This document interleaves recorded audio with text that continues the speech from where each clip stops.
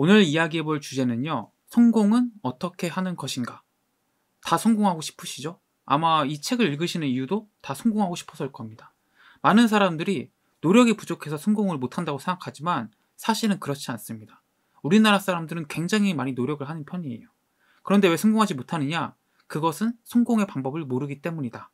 그 성공의 방법에 대해서 오늘 제가 말씀드리고자 합니다.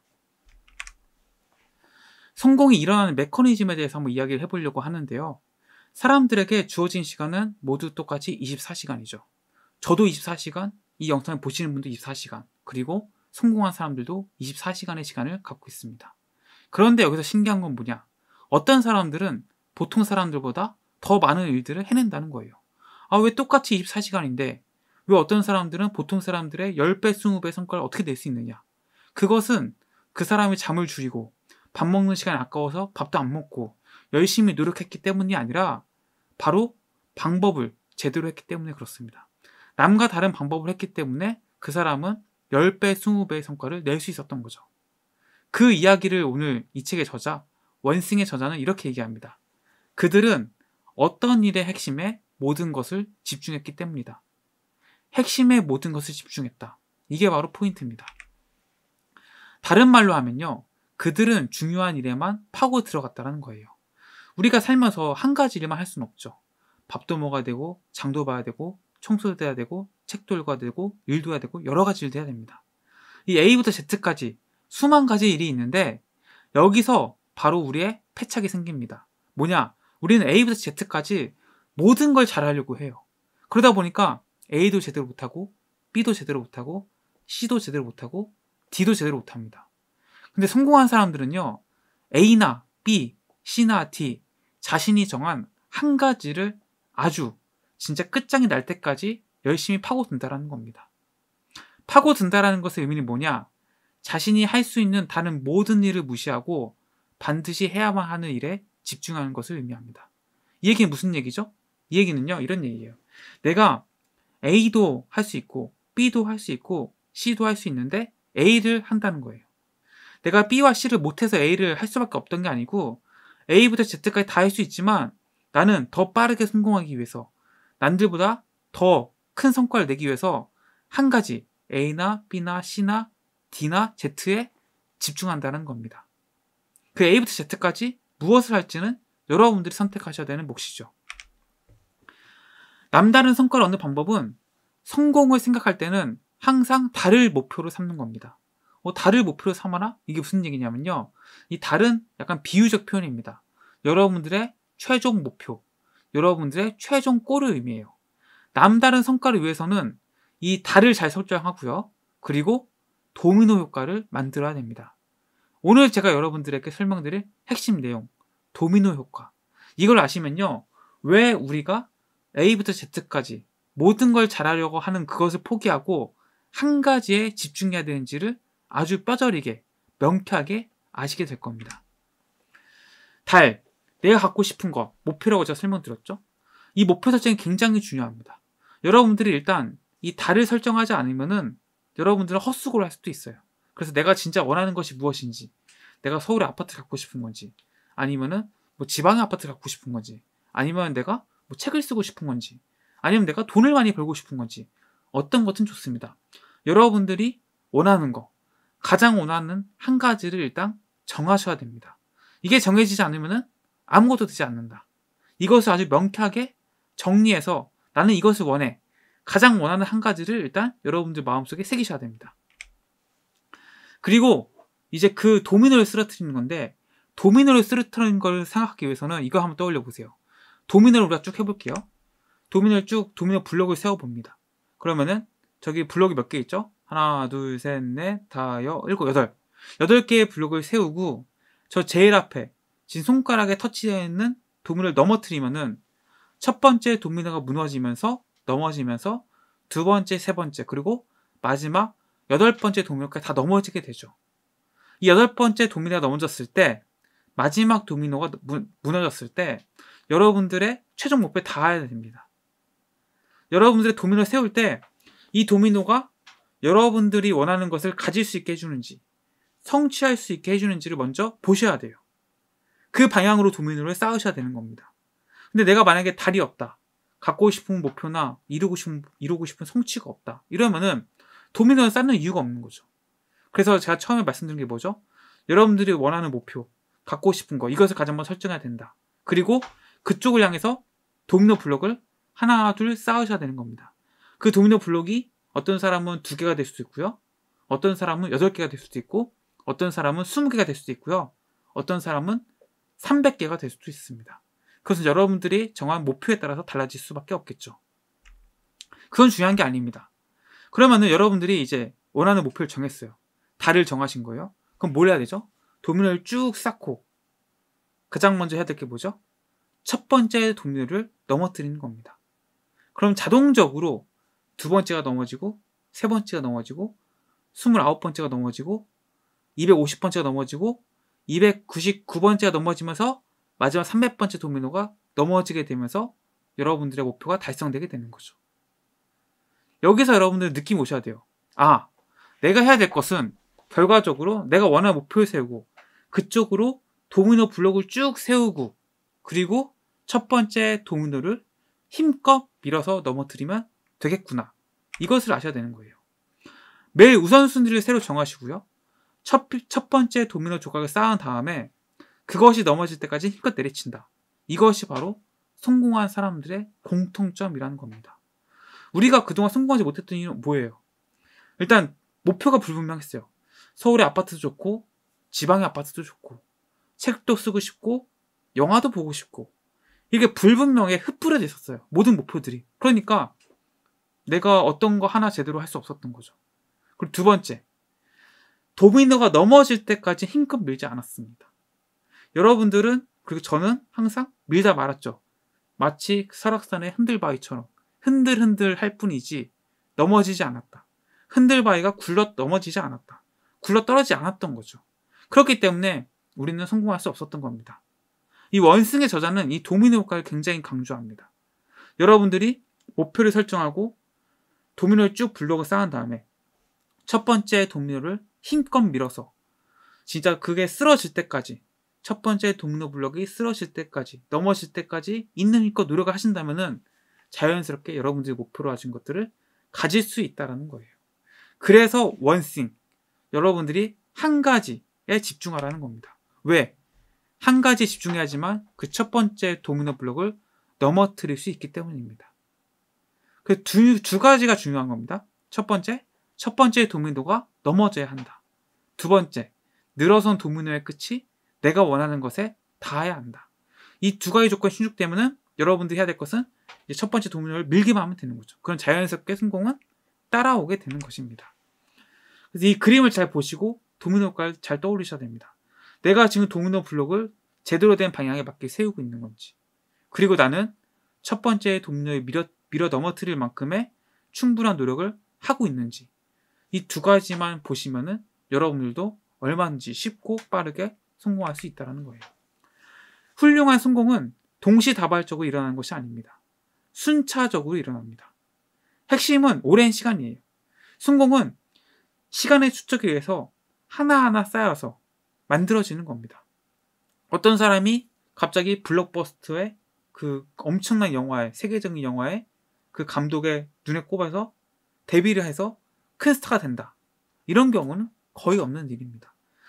연극 배우의 단역부터 시작해서 하나하나 조연하고 그 다음부터 좀 규모가 있는 영화에 주연을 맡고 이런 것들이 쌓여서 결과적으로 큰 성공이 이루어진 거죠.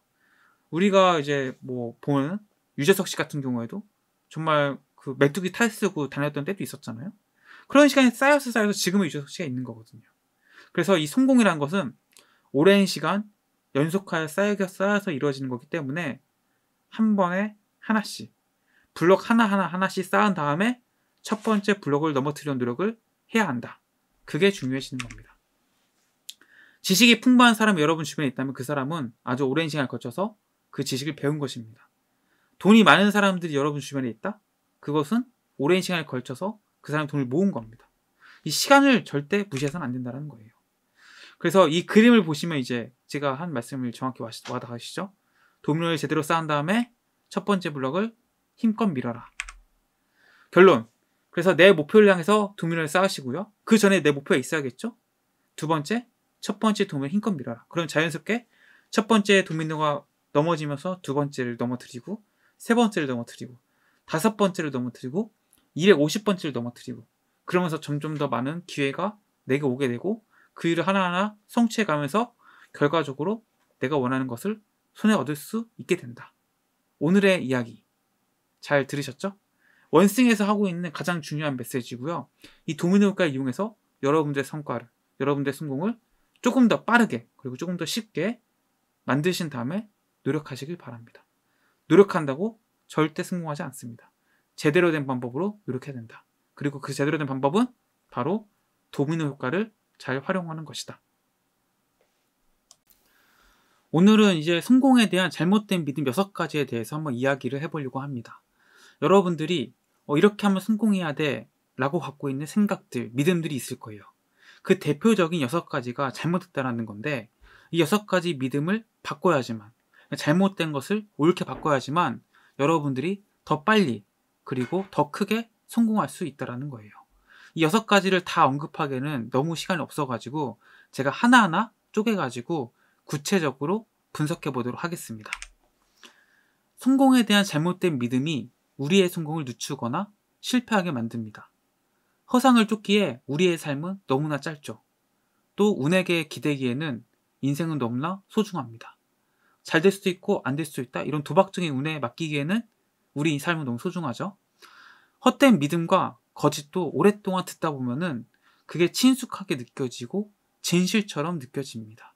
그래서 그것을 진실이라고 믿게 되는 거죠. 근데 우리는 이런 거에 걸려들면 안 된다. 우리는 정말 진실만을 바라봐야 된다. 진실로 보이는 거짓들을 가려내야 한다는 거예요. 성공에도 거짓말들이 있습니다. 잘못된 믿음들인데요. 대표적인 여섯 가지를 소개해 드리도록 하겠습니다. 성공에 관한 잘못된 여섯 가지 믿음. 첫 번째, 모든 일이 다 중요하다. 두 번째, 멀티태스킹은 곧 능력이다. 세 번째, 성공은 철저한 자기 관리에서 온다. 네 번째, 의지만 있다면 못할 일은 없다. 다섯 번째, 일과 삶의 균형이 필요하다.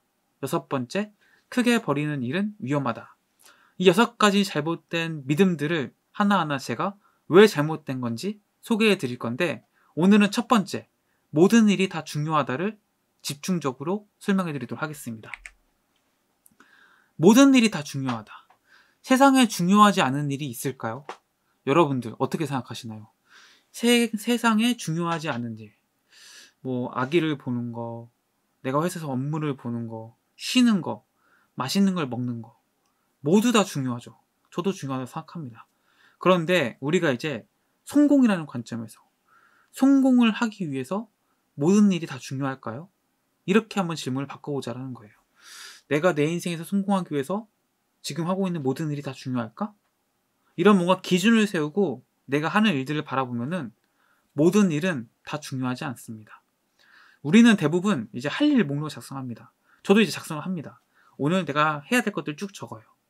그러면 이제 뭐 10개도 되고 20개 되고 할 일이 많으면 뭐 30개도 되겠죠? 그럼 이제 그것을 하나하나 지워 나가면서 아, 내가 열심히 살았구나. 이런 이제 투두 리스트라고 하죠. 이런 것들을 만들어서 열심히 살아가고 있는데 이 책의 저자, 원싱의 저자는 그런 할 일 목록을 만들면 안 된다라고 얘기해요. 그게 무슨 얘기냐? 할 일 목록을 만들어서는 성공할 수 없고 성공 목록을 만들어야 한다고 얘기합니다. 그럼 대체 할 일 목록과 성공 목록은 무엇이 다른 걸까요? 할 일 목록은 시간 관리와 자기개발 산업의 원칙과도 같습니다. 할일 목록은 우리의 좋은 의도를 담아놓은 유용한 도구임은 분명하지만 뭐가 문제냐? 중요하지 않은 일까지 하게 만든다는 거예요. 할 일 목록은 모든 것이 평등한 거예요. A도 중요하고 B도 중요하고 C도 중요하고 D도 중요하고 중요한 일들을 10개, 20개를 쭉 적어 놓는 거죠. 그러다 보니까 그 안에서 또다시 중요한 것과 중요하지 않은 것이 있는데 이것들이 혼재되어 있어서 내가 하루에 소중한 24시간을 중요하지 않은 것, 그러니까 덜 중요한 일을 하게 만든다는 겁니다. 성공하는 사람들은 언제나 일에 대해 우선순위를 가지고 있습니다. 단순한 목록에 불과할 일 목록은 우리를 성공이 아닌 엉뚱한 길로 인도할 수 있습니다. 단순히 해야 된다고 생각하는 것을 적은 것이 할 일 목록이다. 여러분도 to-do list 내가 오늘 이거 이거 해야 돼 라는 걸 쭉 적어 놓잖아요. 그것이 바로 할 일 목록입니다. 이런 것들을 적어서는 안 된다라는 거죠. 왜냐하면 할 일 목록에는 성공의 의도가 빠져 있기 때문에 하루를 열심히 사고 살고 내가 뭔가 하는 거 이것을 적어내면 좋지만 이 성공의 의도가 빠져 있기 때문에 과연 할 일 목록을 적는 것이 내 성공을 앞당겨 줄 것이냐 했을 때는 물음표다. 이 할 일 목록이라는 것은 결과적으로 생존 목록, 하루를 버텨내는 목록에 불과하다고 얘기하고 있습니다. 그래서 할 일 목록을 하나씩 지우는데 오랜 시간을 보내지 말라고 조언합니다. 성과와는 아무런 관련이 없기 때문에 그래요. 그럼 할 일 목록 대신에 우리가 해야 되는 것 바로 성공 목록입니다. 성공 목록. 성공 목록은 뭐 할 일 목록처럼 뭐 10개, 20개, 30개 이렇게 되지 않습니다. 내가 정말 필요한 거, 성공에 필요한 것만 딱딱 적어 놓은 거기 때문에 굉장히 간결하고요. 숫자도 적습니다. 할 일 목록이 어지럽 게 적힌 뭔가 명단이라면은 성공 목록은 잘 정돈된 지시사항이라고 얘기합니다. 해야 하는 것과 할 수 있는 것을 구분하고 해야 하는 일을 하게 만들어주는 게 성공 목록이라는 거죠. 우리가 이제 파레토의 법칙 한 번쯤 들어보셨죠? 8대 2의 법칙이라고도 하는데 이런 거예요. 이것을 일의 관점에서 보면은 20%의 노력이 80%의 결과를 낳는다는 거예요. 그럼 뭐죠? 나머지 80% 노력은 뭔가 잘못된 노력이라는 거죠. 아니면은 적은 성과, 적은 성취를 만드는 노력이라는 겁니다. 그래서 우리는 이 20%의 노력에 가장 많은 시간과 에너지를 쓰고 관리를 해야 된다는 거죠. 내가 할 일 중에서 20%가 뭔지 생각해 보라는 겁니다. 이 20%를 또 줄이고 20%를 또 줄이고 또 줄여나가 보면은 딱 한 가지 일만 남습니다. 이런 거죠. 내가 오늘 해야 될 10가지 일 중에서 20% 줄이면 두 가지가 남죠. 이 두 가지의 일 중에서 또 20% 줄이면 한 가지만 남잖아요. 그런 식으로 내가 정말 중요한 내 하루 일과에서 핵심 일, 그 한 가지만 남겨두라는 거죠. 그리고 그것에 집중하는 겁니다. 가장 중요한 일을 하는 것이 가장 중요한 일이 되어야 합니다. 할 일 목록 써놓으면은 내가 지우는 것에 맞들려서 덜 중요한 거, 혹은 안 해도 되는 일, 혹은 쉬운 일만 하게 됩니다. 그러면은 나는 바쁘게 살아가고 뭔가 나는 노력을 많이 했지만 결과적으로는 성공과는 거리가 멀어진다는 거죠. 그래서 오늘부터 이 네 가지를 좀 해보셨으면 좋을 것 같습니다. 제가 제안 드린 게 아니고 이 원싱의 저자가 제안 드리는 네 가지입니다. 첫 번째, 중요한 일에 파고들어라. 바쁘게 움직이는 게 능사가 아닙니다. 생산적으로 움직이는 게 중요합니다. 두 번째, 극단으로 가라. 무엇이 실질적으로 중요한지 알아낸 다음 단 하나만 남을 때까지 자문하라. 세 번째, 노라고 말해라. 나중에라고, 나중에라도 하면 된다. 이렇게 생각하지 말고 그런 것들은 다 지금 해서 안 된다는 거예요. 지금 해야 하는 아주 중요한 일만 지금 하고 나머지는 다 거절하든지 안 하든지 아니면 나중에라는 변명을 세워서 뒤로 미루라는 겁니다. 가장 중요한 일이 끝날 때까지 다른 모든 일에 지금 말고라고 딱 잘라서 얘기하라는 거예요. 네 번째, 줄긋기 게임에 빠지지 마라. 모든 일이 똑같이 중요하다고 믿지 말아야 합니다. 목록에서 적힌 일을 지우는 것이 성공으로 가는 게 아니라는 거예요. 성공으로 가는 것은 가장 중요한 일을 하는 거죠. 그래서 여러분들이 이 줄긋기 게임에 저도 많이 빠졌거든요. 지금도 빠져있고. 이거 깨우치셔야 됩니다. 우리 계속 지우는 거예요. 아, 나 열심히 살았어. 나 오늘 많은 일을 했어. 만족하면서 스스로 행복하면 안 된다는 거예요. 그게 성공으로 가는 길이 아니라는 거예요. 가장 중요한 일을 내가 해냈을 때, 할 때 성공으로 가는 거지, 일을 많이 한다고 성공하는 것이 아니라는 거죠. 아까 파레토의 법칙, 2대 8의 법칙 말씀드렸죠? 20%의 중요한 일에서 80% 결과물이 나온다라는 거예요. 근데 우리는 80%의 노력, 즉 중요하지 않은 일에 집중해 놓고 20% 결과가 나오는 걸 얻는 거잖아요. 그러니까 당연히 성과가 안 나오고 실패할 수밖에 없는 거죠. 그래서 오늘의 결론, 성공 목록을 만들어라. 첫 번째, 중요한 일에 파고들고 두 번째, 극단으로 가라. 그리고 세 번째, no라고 말해라. 그리고 네 번째, 줄긋기 게임에 빠지지 마라. 이 네 가지를 꼭 명심하시고 어, 오늘부터 할 일 목록이 아닌 성공 목록을 작성해 보셨으면 좋겠습니다. 저도 오늘부터 성공 목록 그리고 오늘 해야 하는 가장 중요한 일을 하고 나서 혹은 중요하지 않은 일은 모두 다 거절하는 그런 연습을 해 나가도록 하겠습니다. 오늘 영상이 도움이 되셨다면 구독과 좋아요를 좀 감사하겠습니다. 고맙습니다. 이제 오늘은 지난 영상에 이어서 성공에 대한 잘못된 믿음 6가지 중에서 두 번째 이야기를 좀 해보려고 합니다. 지난번 영상에서 이제 모든 일이 다 중요하다라는 주제로 한번 이야기를 해봤고 두 번째 오늘 주제는 멀티태스킹은 곧 능력이다. 이것이 잘못된 믿음이라는 것에 대해서 왜 그런지 좀 설명을 해드리도록 하겠습니다. 여러분들 아마 멀티태스킹 참 많이 들어보셨을 겁니다. 멀티태스킹을 막 한다는 것은 내가 여러 가지 일들을 동시에 한다는 것을 의미하죠. 그래서 굉장히 능력자의 상징. 와, 저 사람 정말 능력 있다. 이런 이미지를 보일 때 가장 먼저 이제 보여주는 이미지가 여러 가지 일을 동시에 막 완벽하게 해내는 거죠. 그래서 모든 사람들이 멀티태스킹을 굉장히 가능하다고 생각하고 또 그렇게 되고 싶어 하죠. 그런데 이 원싱의 저자는 이렇게 얘기합니다. 멀티태스킹은 허상이다. 거의 모든 사람들이 멀티태스킹이 효과적이고 효율적이라고 생각하지만 실상은 그렇지 않다라는 거예요. 절대 그렇지 않다라고 표현하고 있어요. 멀티태스킹은 사실 효율적이지도 않고요. 효과적이지도 않습니다. 성과가 모든 걸 말하는 이 세상에서 이 멀티태스킹이라는 것은 언제나 여러분 그리고 저 그리고 많은 사람들을 실망시키게 된다라는 겁니다. 실제로 사람들은 걸어가면서 말할 수 있습니다. 껌을 씹으면서 지도 볼 수 있습니다. 그쵸? 여러분들 뭐 길거리를 걸어가면서 스마트폰 볼 수 있고 길거리 걸어가면서 음악 들을 수 있잖아요. 뭐 이런 것들이 멀티태스킹 아니냐? 여러 가지 일을 난 동시에 잘하고 있다 라고 말씀하실 수 있지만 이 책이 저자가는 말은 이겁니다. 두 가지 일을 하는 것은 가능해요. 근데 두 가지 일에 집중하는 것은 불가능하다는 거예요. 진짜 문제는 해야 할 일이 모든 일을 하기에 부족하기 때문에 생기는 것이 아니라 주어진 시간 내에 너무 많은 일을 해야 되기 때문에 내가 멀티태스킹을 해야 된다고 느끼는 거고 시간이 부족하다고 느끼는 거고 일을 제대로 처리할 수 없다고 느끼는 거죠. 그래서 사람들이 멀티태스킹을 막 갈구하고 그렇게 막 되고 싶어 하지만 사실 그런 것들이 일을 하는 것처럼 가능해 보이긴 하지만 실상은 전혀 집중하지 못한 채 일을 하고 있는 거다. 미국의 시인 빌리 콜린스라는 분은 이렇게 얘기했습니다. 우리는 그것을 멀티태스킹이라고 부른다. 마치 동시에 많은 일을 할 수 있는 능력처럼 들린다. 하지만 불교 신자라면 그것을 산만하게 뛰어다니는 원숭이와 같은 마음이라 부를 것이다.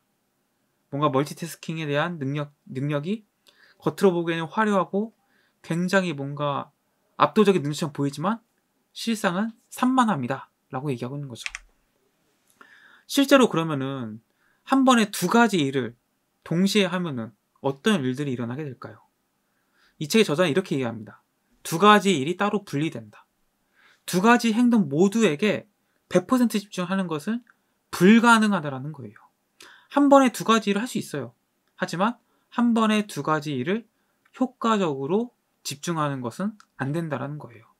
그러니까 이 책의 저자 한 얘기 그거예요. 두 가지를 동시에 하냐 못하냐 할 수 있다라는 거예요. 근데 그게 더 집중적으로 할 수 있는 거냐, 혹은 효과나 효율이 좋냐 했을 때는 아니라는 겁니다. 차라리 하나에 한 번씩 일을 해서 순차적으로 하는 게 훨씬 더 효율적이고 효과적이라고 얘기하고 있는 거죠. 멀티태스킹의 치명적 위험을 보여주는 사례가 있습니다. 2009년 뉴욕타임스 기자 매트 리텔이라는 기자분이 이제 이 기사를 써가지고 퓰리처상을 받았는데요. 그 기사의 제목은 바로 이런 내용이었습니다. 운전 중 한눈 팔기의 위험성. 그러니까 우리가 운전하면서 뭐 스마트폰을 켜, 켜는 경우도 많고 전화를 하는 경우도 많잖아요. 심지어는 카톡을 막 하면서 운전하는 경우도 있습니다. 그 운전이 얼마나 위험한지에 대해서 얘기하는 기사였어요. 가벼운 통화를 하는 것만 해도 우리 집중력의 40%를 잡아먹는다고 합니다. 또 이런 뭔가 스마트폰이라든지 뭔가 이런 걸 이용함으로써 부주의하게 유발되는 사고가 50만 건이라는 거예요. 부상사고만. 사망사고도 훨씬 더 있고요. 우리는 집중의 중요성을 간과합니다. 뭔가 일을 동시에 여러 가지 하는 것에만 관심 있지 하나의 일을 그 일을 처리할 때 우리가 얼마나 집중력 있게 하는지에 대해서는 잘 얘기하지 않고 이것에 대해서 중요하게 생각하지 않는다는 거죠. 하루 일과 중에 여러분들이 3분의 1을 다른 곳에 빼앗기고 있다고 생각해 보세요. 24시간 중에서 8시간을 다른 뭐 집중하지 못하고 시간을 어영부영 보내고 있다. 얼마나 인생의 낭비가 되겠습니까? 멀티태스킹은 바로 이런 삶을 살게 만든다는 거죠. 어느 하나에도 집중하지 못하기 때문에 효과적인 결과, 효율적인 결과를 낼 수 없다라는 거예요. 그래서 결론을 말씀드릴 텐데 멀티태스킹은 허상이라는 거예요. 여러분들은 이 멀티태스킹을 우라로 볼 필요도 없고 나도 멀티태스킹을 잘하고 싶다라고 생각할 필요도 없습니다. 그것들은 오히려 일의 효율이나 결과를 더 나쁘게 만들 뿐이지 더 뭔가 많은 일을 하는 그런 뭔가 전지전능한 능력이 아니라는 겁니다. 그럼 우리가 어떤 걸 알아야 되냐? 첫 번째, 정신이 흐트러지는 것은 본능이라는 겁니다. 집중력이 흐트러졌다고 해서 낙담하지 마십시오. 그것은 모든 사람이 똑같습니다. 내가 어떤 일을 하다가 어 처음에는 막 집중을 하다가 금방 뭐 한 5분 10분 지나서 집중하지 못하는 경우 많잖아요. 그런 것들은 모든 사람이 똑같이 겪는 문제라는 거예요. 집중력은요 자연스럽게 그냥 흩어지는 거예요. 그래서 내가 집중이 떨어졌다 이거에 너무 스트레스를 받을 필요 없다라는 겁니다. 두 번째 멀티태스킹에는 대가가 따른다. 집중력이 흐트러지면은 옳지 못한 선택을 내리고 고통스러운 실수를 저지르며 불필요한 스트레스를 받게 됩니다. 아무래도 그렇겠죠? 여러분들이 진짜 아무 신경 쓸 거 아무것도 없는 상태에서 어떤 뭔가 선택을 하는 거랑 여러 가지 막 신경 쓸 것도 많고 해야 할 일도 많고 이런 상황 속에서 어떤 결정을 내리는 거랑은 아마 그 결과가 완전히 다를 겁니다. 그래서 이 멀티태스킹이라는 것은 집중력을 갉아먹는 거기 때문에 당연히 선택이나 판단에 있어서 오판을 할 가능성이 높아진다는 거죠. 멀티태스킹은 간혹 가능합니다. 하지만 좋은 효과를 내는 방법이 아닌 거예요. 좋은 효과를 내는 방법이 아니기 때문에 여러분들이 멀티태스킹을 지향할 필요도 없고 멀티태스킹을 하는 것을 뭔가 부러워하고 그것을 갖고 싶어 할 필요가 전혀 없다라는 거죠. 오히려 하나에 한 가지에 집중하는 것이 훨씬 더 일을 효율적이고 효과적으로 처리하는 방법이다. 세 번째, 집중력이 흐트러지면 결과가 나빠진다. 한 번에 너무 많은 일을 하려고 하면은 결국 아무것도 잘하지 못하게 됩니다. 너무 당연한 얘기죠. 하지만 우리 이런 당연한 사실들을 무시한 채 어떻게 하면 내가 이것을 동시에 더 많은 일을 할 수 있을까만 고민하죠. 이 고민 자체가 잘못됐다라는 거예요. 여러분들이 해야 될 건 뭐냐? 내가 해야 될 일은 많아요. 여러분도 해야 할 일 많죠? 저도 해야 할 일 많습니다. 근데 그 해야 할 것 중에서 지난번에 설명을 드렸죠? 내가 성공하는 데 있어서 필요한 일들이 있을 거예요. 성공하는 데 필요한 일이 있고 그냥 하면 좋은 일들이 있어요. 그것을 구분해야 됩니다. 해야 할 일과 성공 목록 이거 작성하라고 그랬죠 말씀드렸죠 그래서 내가 원하는 것을 가져다 줄 행동이 무엇인지를 정리하신 다음에 그것들을 줄이고 줄이고 줄여가지고 그 하나의 일에 집중해야 됩니다. 그 하나의 일에 집중할 순간 우리는 이제 멀티태스킹 하지 않는 거죠. 그러니까 어떻게 되죠? 그 일에 대한 집중력이 높아질 거고 성과나 효율이 훨씬 더 높아진다는 거예요. 성공에 대한 것만 계속 하는 거기 때문에 당연히 그 일을 이룰 가능성이 훨씬 더 높아지겠죠. 그래서 이 원스윙에 저작하는 게 아주 간단합니다. 여러분들이 집중해야 될 것을 하나 찾는 게 중요합니다.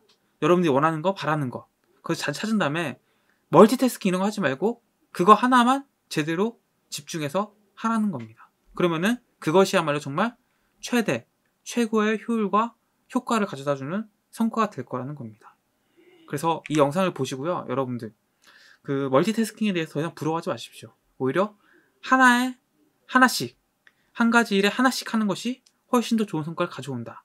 지금부터 그것을 믿으시고 그렇게 집중해 보시길 바랍니다. 오늘 영상이 도움이 되셨다면요. 구독과 좋아요 주시면 감사하겠습니다. 고맙습니다. 이제 오늘은 지난 시간에 이어서 성공에 대한 잘못된 믿음 6가지 중에서 세 번째에 대해서 한번 이야기를 해볼 생각입니다. 여러분들은 아마 성공에 대해서 어떤 믿음을 가지고 계실 텐데 그 믿음들이 잘못됐다라는 게 원싱 저자의 이야기입니다. 원싱 저자가 얘기하는 성공에 관한 잘못된 믿음 6가지는 이제 아래와 같은 건데요. 모든 일이 다 중요하다. 멀티태스킹은 곧 능력이다. 성공은 철저한 자기 관리에서 나온다. 의지만 있다면 못할 일이 없다. 일과 삶의 균형이 필요하다. 크게 버리는 일은 위험하다. 이 여섯 가지 중에서 오늘은 이제 세 번째, 성공은 철저한 자기 관리에서 온다라는 이 이야기를 가지고 한번 이야기를 해보도록 하겠습니다. 아마 여러분들이 성공한 사람들을 떠올리면은 아주 자기에게 철저한 자기 관리를 하는 사람, 열심히 막 운동하고 막 공부하고 이런 사람 생각할 거예요. 근데 그렇지 않다라는 겁니다. 그게 바로 성공에 대한 잘못된 믿음이라는 거예요. 성공한 사람들은 자기 관리가 철저할 것이다. 이게 잘못된 생각이라는 겁니다. 대체 그러면은 성공한 사람이 자기가 철저하지 않다는 것은 무엇을 의미하는지 오늘 그 얘기를 한번 해보도록 하겠습니다. 성공은 철저한 자기 관리에서 온다. 성공한 사람들은 딱 떠올렸을 때 우리가 이미지를 자기 관리가 철저하거나 자신과 절대 타협하지 않는 사람. 막 이런 거죠. 와, 아침 일찍 일어나고 책을 읽고 명상을 하고 철저한 업무 스타일, 관리, 사람과의 관계에서 에티켓이 엄청 좋고 막 한 점, 한치도 틀어짐이 없는 그런 모습들. 이게 바로 우리가 생각하는 성공한 사람의 모습이잖아요. 근데 그게 다 잘못된 믿음이라는 겁니다. 이거는 사실이 아니라고 얘기해요. 다른 사람보다 더 많은 자기 통제력이 필요한 게 아니라 똑같은 통제력인데 그것을 옳은 방향으로 사용하느냐. 이게 중요하다라는 겁니다. 사실 성공은 단거리 경주라는 겁니다. 모든 면에서 자기 관리가 철저한 사람이 될 필요는 없다라고 얘기해요. 건전한 습관이 자리를 잡을 때까지만 자신을 훈련시키는 단거리 전력 질주를 하면 된다는 거예요. 그래서 여러분들이 나는 A부터 Z까지 모든 면에서 철저하게 되어야지. 철저한 자기 관리가 되어야지만 나는 성공할 수 있을 거야. 이 생각을 가지고 있으시다면은 오늘부터 그 생각을 버리십시오. 여러분들은 모든 분야에서 철저한 자기 관리를 할 필요가 없습니다. 그럼 뭐냐? 아주 일부분, 아주 작은 부분, 하나의 부분에서만 철저한 자기 관리가 되면 돼요. 여러분들의 성공과 아주 밀접한 관련 있는 그 부분에서만. 그러면요, 생각보다 훨씬 적은 통제력만 가지고도 성공할 수 있게 됩니다. 올림픽 수영 챔피언 마이클 펠프스 이거 아시죠? 미국 선수죠? 굉장히 많은 그 신기록들을 세웠습니다. 근데 이분이요 주의력 결핍 과잉 행동 장애 ADHD 많이 들어보셨죠? 이것이 있었다라는 거예요. 근데 이게 단순히 어렸을 때만 있었던 게 아니고 성인이 되어서도 그런 뭔가 장애가 있었다라는 겁니다. 부정적인 행동이 나타났다는 거죠. 그런데 그는 수십 개의 세계 신기록을 세웠고 수많은 올림픽 메달을 가지고 있죠. 우리가 평소에 생각하는 그 성공한 사람 이미지 떠올려 보세요. 모든 면에서 완벽하고 자기 관리가 철저한 사람. 이런 이미지와 주의력 결핍, 과잉 행동 장애를 가지고 있는 사람. 성공과는 거리가 멀잖아요. 근데 어떻게 이 마이클 페프스는 이렇게 어마어마한 메달들을 따고 세계 신기록을 세울 수 있었을까요? 우리는 마이클 페프스 사례를 보면서 뭘 알아야 되느냐? 모든 면에서 자기 관리가 철저할 필요는 없다. 우리는 하나의 분야, 내가 갖고 있는 통제력을 가지고 하나의 분야에만 확실하게 통제하고 철저히 관리를 하면 된다는 겁니다. 비결은 아주 단순하다고 얘기해요. 펠프스는 자신에게 필요한 부분에서 선택적 집중을 발휘한 거다. 자기 수용하는 데 있어서 필요한 부분에서만 자기 갖고 있는 통제력을 발휘하면 됐던 거예요. 그러니까 나머지 부분은 뭐 주의력 결핍 장애 뭐 이런 거 있어도 아무 상관 없었던 겁니다. 뭐 수영의 성과를 내는데 기록을 단축시키는데 뭐 밥을 좀 산만하게 먹으면 어떻고 게임을 하면서 다른 짓을 하면 어떻습니까? 내가 수영 훈련하는데 수영 경기하는 데 있어서 그 분야 뭐 체중 관리라든지 아니면 뭐 수영 훈련 이런 거 이런 건 빠지지 않고 열심히 하면 되는 거 아니겠습니까? 그게 이제 마이클 페프스 사례에서 볼 수 있다라는 겁니다. 자기 관리와 습관을 얘기하면은 많은 사람들이 꺼립니다. 불편해요. 왜냐면은 삶이 피곤해지잖아요. 저렇게까지 꼭 살아야 돼? 근데 우리가 여기서 한 가지 명심할 때 뭐냐면요. 내가 만약에 오늘부터 아침 5시 일어난다 해볼게요.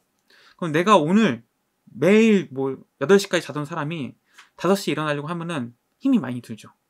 그런데 이 힘의 듦의 정도가 60일, 90일, 120일, 1년, 3년, 10년, 20년 뒤까지 똑같이 그 힘이 드는 게 아니라는 거예요. 처음에만 힘들다는 거죠. 66일만 힘들다는 거예요. 66일 하면 떠올리는 거 있으시죠? 뭐죠? 습관을 들이는데 걸리는 시간입니다. 66일만 조금 우리가 노력하고 행동하면, 행동을 하면은 그 다음부터는 굉장히 적은 노력만 가지고도 그것을 계속 지속시켜 해 나갈 수 있다는 겁니다. 이 그래프 보세요. 어, 세로축이 노력의 정도고요. 가로축이 시간입니다. 새로운 행동이 습관이 되면은 그것을 유지하는 데는 최소의 노력만이 필요하다. 최소한, 최소한의 노력만 있으면 된다는 것을 보여주는 그래프입니다. 처음에 제일 시간의 그 가로축에서 제일 왼쪽을 보시면은 이제 막 시작한 거죠. 그러니까 노력의 정도가 큽니다. 그런데 시간이 지나면 지날수록 그래프가 점점 내려가죠. 점점 노력이 덜 들어간다는 얘기예요. 그러니까 우리가 저 별표가 된 부분, 저 때가 66일이거든요. 저 때가 되면은 그 다음부터는 큰 힘을 들이지 않고도 우리는 새로운 습관을 계속 유지할 수 있다는 겁니다. 그러니까 우리가 어떤 걸 한다고 했을 때 이것을 100일, 뭐 1000일, 뭐 만일, 뭐 20년, 30년, 40년 계속 그렇게 힘들게 살 필요가 없다는 거예요. 두 달 조금 넘는 시간만 하면은 그 다음부터는 굉장히 손쉽게 많은 에너지가 들이지 않고도 충분히 해낼 수 있다는 겁니다. 호주의 과학자 메건 오튼과 켄챙이라는 사람이 있었습니다. 이 사람은요, 습관 형성의 후광 효과를 밝혀냈어요. 습관 형성의 후광 효과라는 게 무엇이냐? 긍정적인 습관을 들이는데 성공한 학생들은 스트레스가 줄고 충동 구매가 줄고 식습관이 나아졌다라는 거예요. 술, 담배, 커피 소비가 줄어들었다라는 겁니다. 그러니까 내가 긍정적인 습관, 뭐 예를 들어서 감사합니다 라고 생각하는 습관, 뭐 감사합니다라고 말하는 습관, 혹은 아침 일찍 일어나는 습관, 뭐 이런 긍정적인 습관을 들였는데 꼭 그것뿐만 아니라 긍정적인 습관 하나 들였더니 삶에 대한 스트레스가 줄어들고 충동 구매가 줄어들고 식습관이 달라졌다라는 겁니다. 또 술, 담배, 커피 소비가 자연스럽게 줄어든다는 거죠. 내가 일부러 뭐 술, 담배, 커피를 줄이겠다 한 것도 아닌데 긍정적인 습관을 들이니까 이런 것들이 자연스럽게 따라오더라는 거예요. 이것을 습관 형성의 후광 효과라고 이제 얘기한 겁니다. 좋은 습관을 가진 사람들이 다른 이들보다 무엇이든 다 잘해내는 것처럼 보이는 이유가 바로 여기 있습니다. 여러분 주변에 뭐 아침 5시 일어나는 사람 있다고 해볼게요. 그러면 이 사람에 대한 이미지 어떻죠? 와, 자기 관리 굉장히 철저하다. 저 사람은 뭔가 굉장히 번듯하고 모든 일을 확실하게 잘할 것 같은 그런 이미지 떠오르죠. 이게 바로 긍정의 후광 효과입니다. 그들은 가장 중요한 일을 주기적으로 하는 법을 알고 그 결과로 다른 모든 일이 점점 쉬워지는 거예요. 아침 일찍 일어나니까 스트레스가 줄고요. 커피도 덜 마시게 되고 몸도 건강하게지고 이런 것들이 계속 점점 힘이 커지면서 내 삶을 바뀌게 되는 거죠. 여러분이 해야 될 건 뭐죠? A부터 Z까지 다 바꾸는 게 아니고 그런 긍정적 후광 효과를 낼 수 있는 좋은 습관을 하나 드리는 거. 이것을 하시면 여러분들은 성공할 수 있다는 거예요. 여러분들이 얻은 성취는 한 번의 행동에서 나오는 게 아닙니다. 삶에서 만들어진 습관으로 나오는 겁니다. 그래서 애써 성공을 찾을 필요가 없습니다. 여러분이 찾아야 될 건 뭐죠? 좋은 습관. 선택적 집중의 힘을 이용하여서 올바른 습관을 들이십시오. 그러면은 여러분들의 삶에, 여러분들의 인생에 탁월한 성과가 찾아오게 될 겁니다. 그래서 결론을 말씀드리면은 첫 번째, 자기 관리에 집착하지 마라. 대신 강력한 습관을 지닌 사람, 그리고 그것을 개발하기 위해서 선택적 집중을 하라는 겁니다. 자기 관리에 집중, 집착하지 말고 여러분들이 오늘 이제 이 시간부로 아, 내가 이런 좋은 습관 하나 만들어 봐야겠다. 이 생각을 하시라는 겁니다. 그러면 긍정적 후광 효과에 의해서 자연스럽게 모든 것들이 좋아지기 시작합니다. 두 번째, 한 번에 하나씩 습관을 들여라. 한 번에 좋은 습관을 두 개 이상 만들 수 있을 정도로 강한 정신력을 가진 사람은 없습니다. 내가 아 이거 이렇게 좋은 거 알았으니까 이제 아침에도 일찍 일어나고 이제 어, 커피도 안 마시고 술도 안 마셔 하지 이렇게 여러 개 동시에 하지 말라는 말씀이에요. 하나만 하세요. 술만 먹지 말자. 이걸 하면 자연스럽게 커피 소비량도 줄어들게 되고요. 또 아침에 일찍 일어나게 된다는 거예요. 위대한 성공을 거둔 사람은 초인이 아닙니다. 우리랑 똑같은 사람들이에요. 그들은 모두 그냥 하나의 습관을 들이기 위해서 선택적 집중을 한 사람에 불과하다는 거예요. 그리고 세 번째, 습관 하나에 충분한 시간을 들여라. 충분한 시간을 투자해서 행동을 일상으로 만들어야 됩니다. 습관이 만들어지기까지는 평균 66일이 걸린다고 말씀드렸죠? 일단 습관이 들고 나면은 노력이 거의 들어가지 않습니다. 그래서 그 습관을 더 발전시키거나 아니면 그렇게 노력에 거의 들어가지 않는 시점까지 오면은 그때 이제 새로운 습관을 또다시 하나 드리는 겁니다. 이런 식으로 하나하나씩 습관을 두 개 이상 동시에 하는 것이 아니라 하나를 완벽하게 드리고 또 다른 걸 하든지 아니면 그걸 더 심화시키든지 그런 식으로 하시라는 겁니다. 그래서 오늘 성공에 대한 잘못된 믿음 6가지 중에서 세 번째에 대한 얘기를 해봤습니다. 자기 관리에 대한 환상을 깨시고요. 우리는 좋은 습관을 하나 만들어 보는 겁니다. 이 영상이 끝나고요. 저는 개인적으로 좋은 습관으로 아침 일찍 일어나기 추천드리고 싶습니다. 네, 그래서 오늘 영상 봐주셔서 감사하고요. 어, 도움이 되셨다면 구독과 좋아요를 좀 감사하겠습니다. 고맙습니다. 오늘 이야기해 볼 주제는요. 성공에 대한 잘못된 믿음 6가지 중에서 바로 네 번째, 의지만 있다면 못할 일이 없답니다. 여러분들, 성공은 의지만 있으면 할 수 있다고 생각하십니까? 그러신 분이라면 오늘 영상 끝까지 봐주시고요. 또 의지에 대해서 아, 난 잘 활용하고 싶은데 잘 안 된다. 난 의지력이 없다는 얘기를 많이 듣는다. 이런 분들은 오늘 영상 보시면은 의지력을 어떻게 활용할 수 있는지, 내가 어떻게 해야지만 의지력을 잘 쓸 수 있는지를 아시게 될 겁니다. 오늘 그러면은 의지만 있다면 못할 일이 없다. 이 이야기를 좀 해보도록 하겠습니다. 의지. 저도 약간 이런 생각 많이 가졌어요. 어, 의지만 가지면 다 할 수 있는 거 아니야? 의지가 있으면 다 하지. 넌 의지가 없으니까 못 하는 거야. 이렇게 많이 생각했었는데요. 이 원식이라는 책을 읽고 저도 의지에 대해서 다시 생각하게 되었습니다. 일부러 고생을 하고 싶은 사람이 있을까요? 어, 같은 노력을 해서 100원을 버는 거. 거기서 내가 더 노력을 더 많이 해야 된다? 이러면은 그거 안 하고 싶겠죠. 최소 노력으로 최대 성과를 내고 싶은 게 모든 사람의 공통된 마음이잖아요. 하지만 대부분의 사람들은 자기도 모르는 사이에 그런 일을 한다라는 겁니다. 의미를 정확하게 이해하지도 못한 채 성공과 의지력을 직접 연결시키려고 한다라는 거죠. 그러니까 의지가 있어야지 성공한다. 너가 실패하는 이유는 의지가 없어서다. 이렇게 억지로 연결시키다 보니까 의지를 많이 쓰더라도 성공할 수 없는 상황이 발생한다는 겁니다. 이 책의 저자는 실패로 가는 지름길이라고 표현했어요. 인간이 지닌 정신 능력의 위대함을 찬양하는 방식으로 알려진 의지력. 이 의지력이 강한 힘을 발휘하려면 조건이 있습니다. 뭐냐? 그것은 바로 타이밍입니다. 아, 맞다. 역시 인생은 타이밍이야. 맞습니다. 의지력에 있어서도 이 타이밍이 굉장히 중요합니다. 저도 사실은 이 타이밍에 대해서 한 번도 생각해 보지 않았어요. 이 원승이라는 책을 읽기 전엔요. 근데 이 책을 다 읽은 입장에서 보니까 이 의지력보다 중요한 게 아니 어쩌면 의지력을 잘 쓰기 위해서 꼭 필요한 게 타이밍이더라고요. 의지력을 이용하면은 성공은 내 것이다. 이 말을 믿고 많은 사람들이 얼마만큼의 더 많은 노력을 할 것인가만 고민합니다. 여기서 바로 이제 실패의 포인트가 생기는 거죠. 의지력을 가지고 달려들었을 때 여러분들 뭐 연초에 항상 결심을 하시죠. 혹은 뭐 매달 1일에 결심을 하시죠. 나는 이제부터 이렇게 할 거야. 나 이제 다이어트를 할 거야. 나 이제부터 유튜브를 할 거야. 하지만 그건 잠시뿐이죠. 얼마 지나지 않아서 기운이 쭉 빠지는 그런 일들이 발생하게 됩니다. 이 얘기는 뭐죠? 내가 의지력이 가득 차던 시기가 있고 의지력이 바닥나는 시기가 있다는 겁니다. 언제나 의지력이 충만하지는 않다는 것을 의미한다는 거예요. 그러면은 여기서 말하는 타이밍은 뭐냐? 우리가 의지력이 충만할 때 일을 해야 되고 의지력에서 바닥이 났다. 의지력이 지금 하나도 남아있지 않다고 한다면은 그때는 좀 쉬어주어야 한다는 거죠. 의지력에 대한 진실을 말씀드릴게요. 의지력은 늘 꺼내 쓸 수 있는 것이 아닙니다. 의지력이 늘 발휘될 수 있다는 것은 거짓말이라는 거예요. 여러분의 의지력은요, 스마트폰 배터리처럼 달아요. 처음에는 가득 차 있을 수 있지만 시간이 지나면서 점점 바닥을 드러내게 됩니다. 그래서 이제 의지력을 사용하는 것도 중요하지만 이 의지력을 타이밍 있게 타이밍에 맞춰 쓰는 게 중요합니다. 이미 의지력이 바닥나서 없는데 어떤 새로운 일, 어떤 중요한 일을 할 수 있겠습니까? 할 수 없다라는 얘기죠.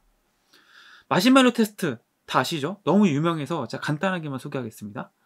월터 미셸 박사라는 분이 있었어요. 이분이 500명이 넘는 아이들을 동원해서 실험을 합니다. 아이들한테 이렇게 얘기하는 거예요. 마시멜로를 하나 보여주고 너 이거 15분 기다렸다 먹으면은 내가 하나 더 줄게. 이런 거예요. 그러니까 아이들이 막 잘 참는 친구도 있었고 참지 못하고 몸을 베베 꼬다가 결국 먹은 아이들도 있었죠. 한마디로 자기가 이 마시멜을 먹었을 때 그 맛있는 거, 그 어떻게 보면 뭐 이제 미각이죠? 미점 만족감. 이 만족 지연 테스트를 한 건데 이 아이들을 그냥 이 실험에 끝내는 것이 아니고 추적 조사를 합니다. 10년 후, 20년 후 이 아이들이 어떻게 성장했는지를 이제 조사를 한 거죠. 그랬더니 굉장히 재미있는 결과가 나왔죠. 무슨 결과냐? 그 마시멜로 테스트를 마시멜로를 참았던 아이들이 훨씬 더 사회적으로 높은 지위, 좋은 연봉, 좋은 직장에 다니더라는 겁니다. 그래서 이게 화제가 됐었죠. 아, 이 마시멜로를 안 먹고 참으면은 굉장히 더 연봉이 높아지고 좋은 직장에 다닐 가능성이 높아지는구나. 이래서 우리나라에서도 굉장히 좀 유행이 있었던 그런 이제 실험입니다. 하지만 이제 의지력에서 중요한 거는 이런 뭐 만족지원 능력 물론 뭐 중요하지만 참는 능력 물론 중요하지만 타이밍이라는 게 원싱의 저자의 이야기입니다. 의지력은 늘 꺼냈을 수 없다라는 거죠. 어 뭐야 의지력은 참으면 되는 거 아니야? 의지력은 그렇게 참아서 되는 게 아닙니다. 이 의지력은 타이밍이 있다라는 것을 보여주는 실험이 있어요. 이 의지력은 피곤함을 느끼게 되기 때문인데요. 재미있는 실험을 제가 이제 소개해 드리도록 하겠습니다. 의지력이라는 것은 먼저 우리가 관리해야 할 한정된 자원이라는 거 꼭 기억해 주시기 바랍니다. 스탠포드 대학교의 바바시브라는 분이 연구를 합니다. 165명의 학생을 대상으로 실험을 했는데요. 한 그룹은 두 자리 숫자를 외우게 했고요. 다른 그룹은 일곱 자리 숫자를 외우게 했습니다. 두 자리와 일곱 자리, 일곱 자리가 당연히 더 외우기가 어렵죠. 그러니까 더 많은 의지력을 쓰게 되는 겁니다. 두 자리를 이제 외우게 한 그룹은 의지력을 덜 쓰는, 거의 안 쓰는 그룹인 거고, 일곱 자리 숫자를 외우게 한 그룹은 의지력을 많이 소비하게 한, 쓰게 하는 그룹이 되는 거죠. 외울 시간을 넉넉히 제공하고요. 모두 외운 학생은 방을 옮겨서 그 외운 숫자를 말하게 했습니다. 그리고 방을 옮길 때는 간식을 주었어요. 이 실험의 포인트는 간식입니다. 참가자에게 주어진 간식은 두 가지였습니다. 첫 번째는 맛은 좋지만 몸에는 좋지 않은 초콜릿 케이크를 줬고요. 두 번째는 건강에 좋은 생과일을 제공했습니다. 우리가 여기서 주목해야 될 것은 이 방을 이동할 때 그 학생들이 어떤 간식을 선택해서 먹었을까라는 게 이 실험의 진짜 의도가 숨겨져 있는 거예요. 뭐냐? 재밌는 결과가 나왔습니다. 일곱 가지를 외운, 일곱 자리 숫자를 외운 그 학생들이 초콜릿 케이크를 선택하는 빈도가 더 많았다라는 거죠. 이게 뭘까요? 왜 생과일, 몸에 좋은 생과일을 선택하지 않고 맛은 좋지만 몸에는 나쁜 초콜릿 케이크를 왜 더 많이 선택했을까요? 이게 뭐냐? 머리를 많이 쓸수록, 의지력을 많이 쓸수록 피곤해지고요. 휴식이 필요해진다는 것을 의미한다는 거죠. 우리가 막 피곤할 때, 막 그럴 때 단계 땡기잖아요. 그것을 보여주는 실험이 되는 겁니다. 그래서 이 교수는 이제, 아, 우리가 의지력을 많이 쓰면은 에너지를 많이 소비하게 되는구나. 이것을 이제 알게 되는 거죠. 음식은 의지력의 연료라는 거예요. 또 이와 관련해서 재밌는 실험이 있습니다. 영양과 의지력 사이에 연관관계를 밝힌 논문이 있는데요. 의지력이 필요한 일과 필요하지 않은 일을 시킨 후에 포도당 수치를 측정했습니다. 그랬더니 의지력 발휘 그룹이 포도당 수치가 더 많이 떨어졌다는 거죠. 그만큼 에너지를 더 많이 썼다는 것을 잘 보여주는 거죠. 두 번째 실험도 있습니다. 이 두 번째 실험도 재밌습니다. 한 그룹에는 설탕을 넣은 레모네이드를 줬고요. 또 다른 그룹에게는 인공 감미료를 넣는 레모네이드를 넣습니다. 인공 감미료라고 하면 어떤 거죠?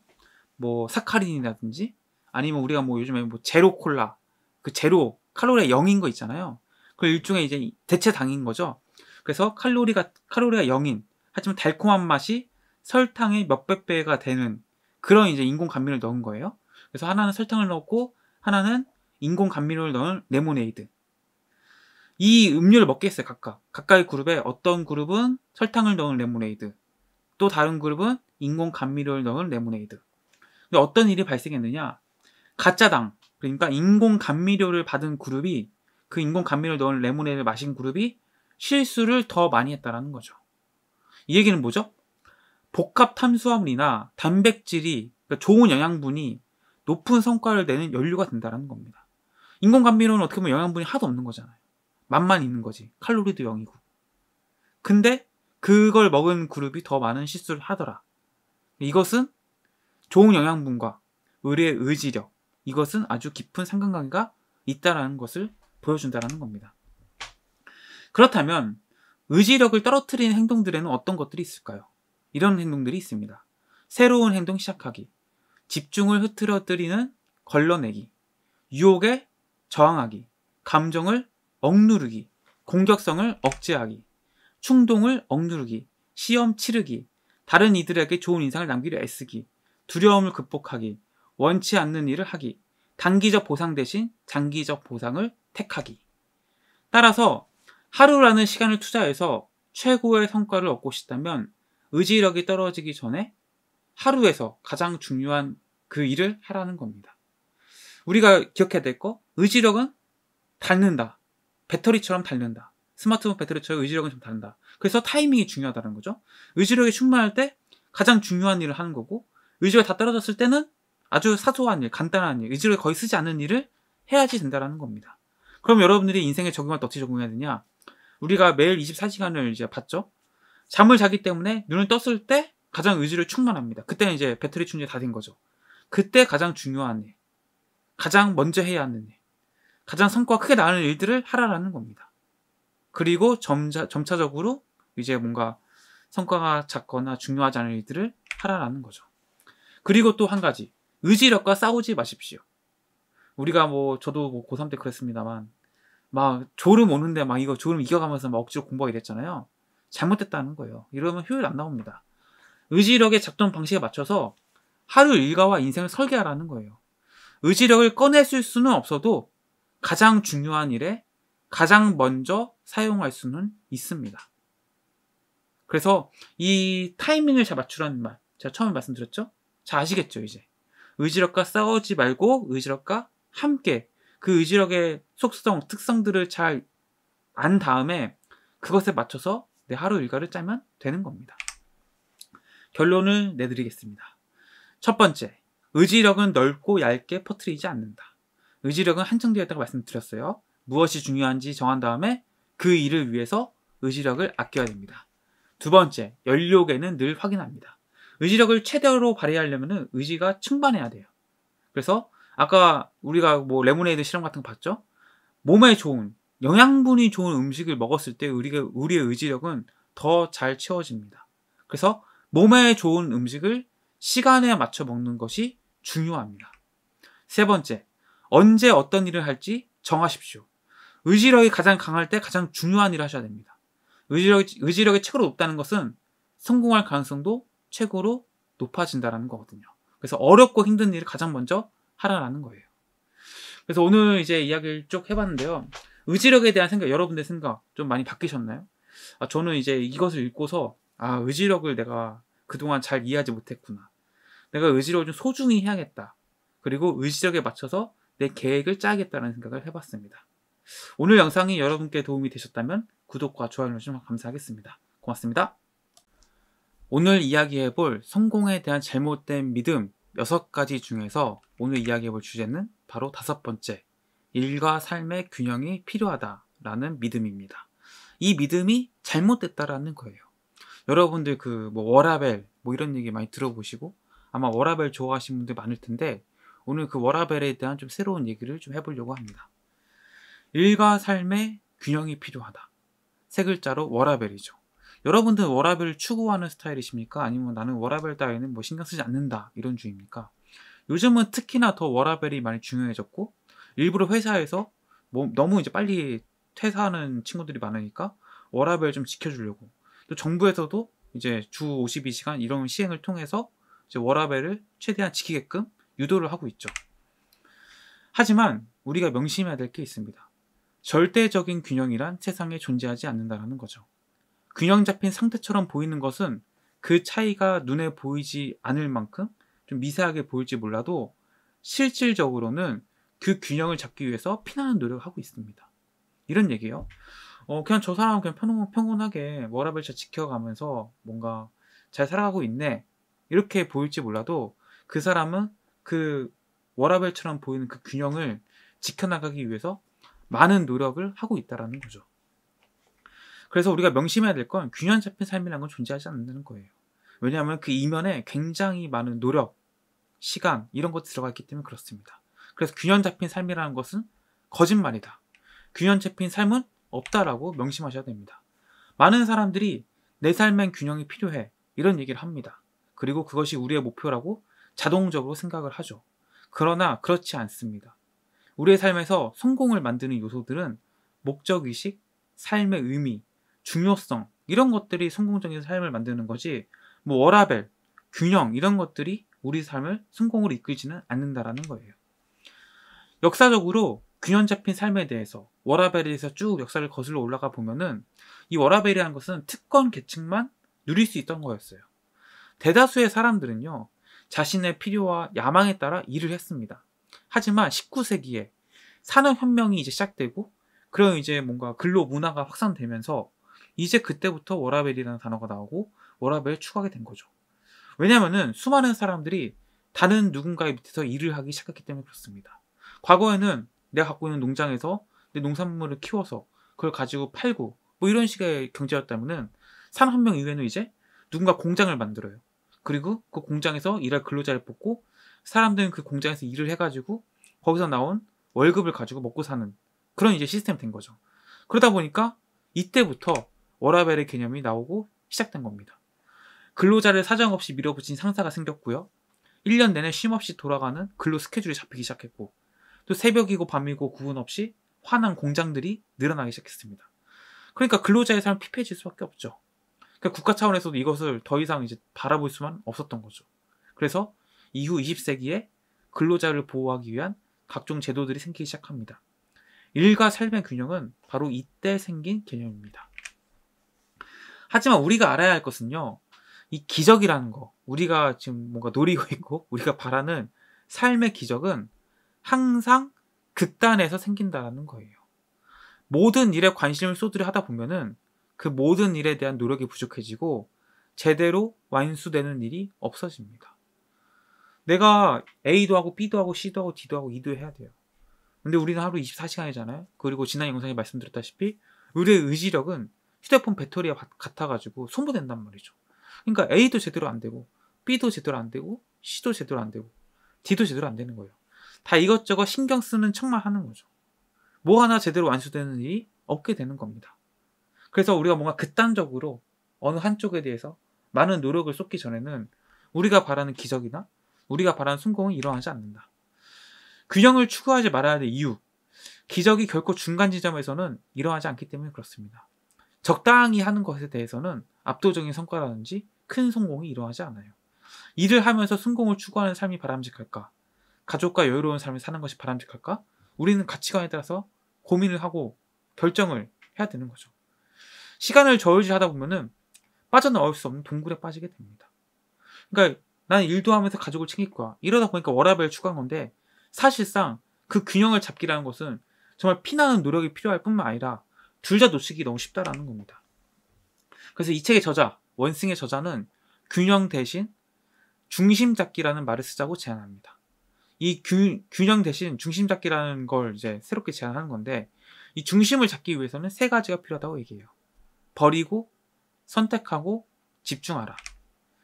균형이 안 잡혔다라고 말하는 것은 우리에게 중요한 것, 즉 우선적으로 해야 되는 일들이 제대로 처리되지 않았거나 충족되지 않았다라는 뜻입니다.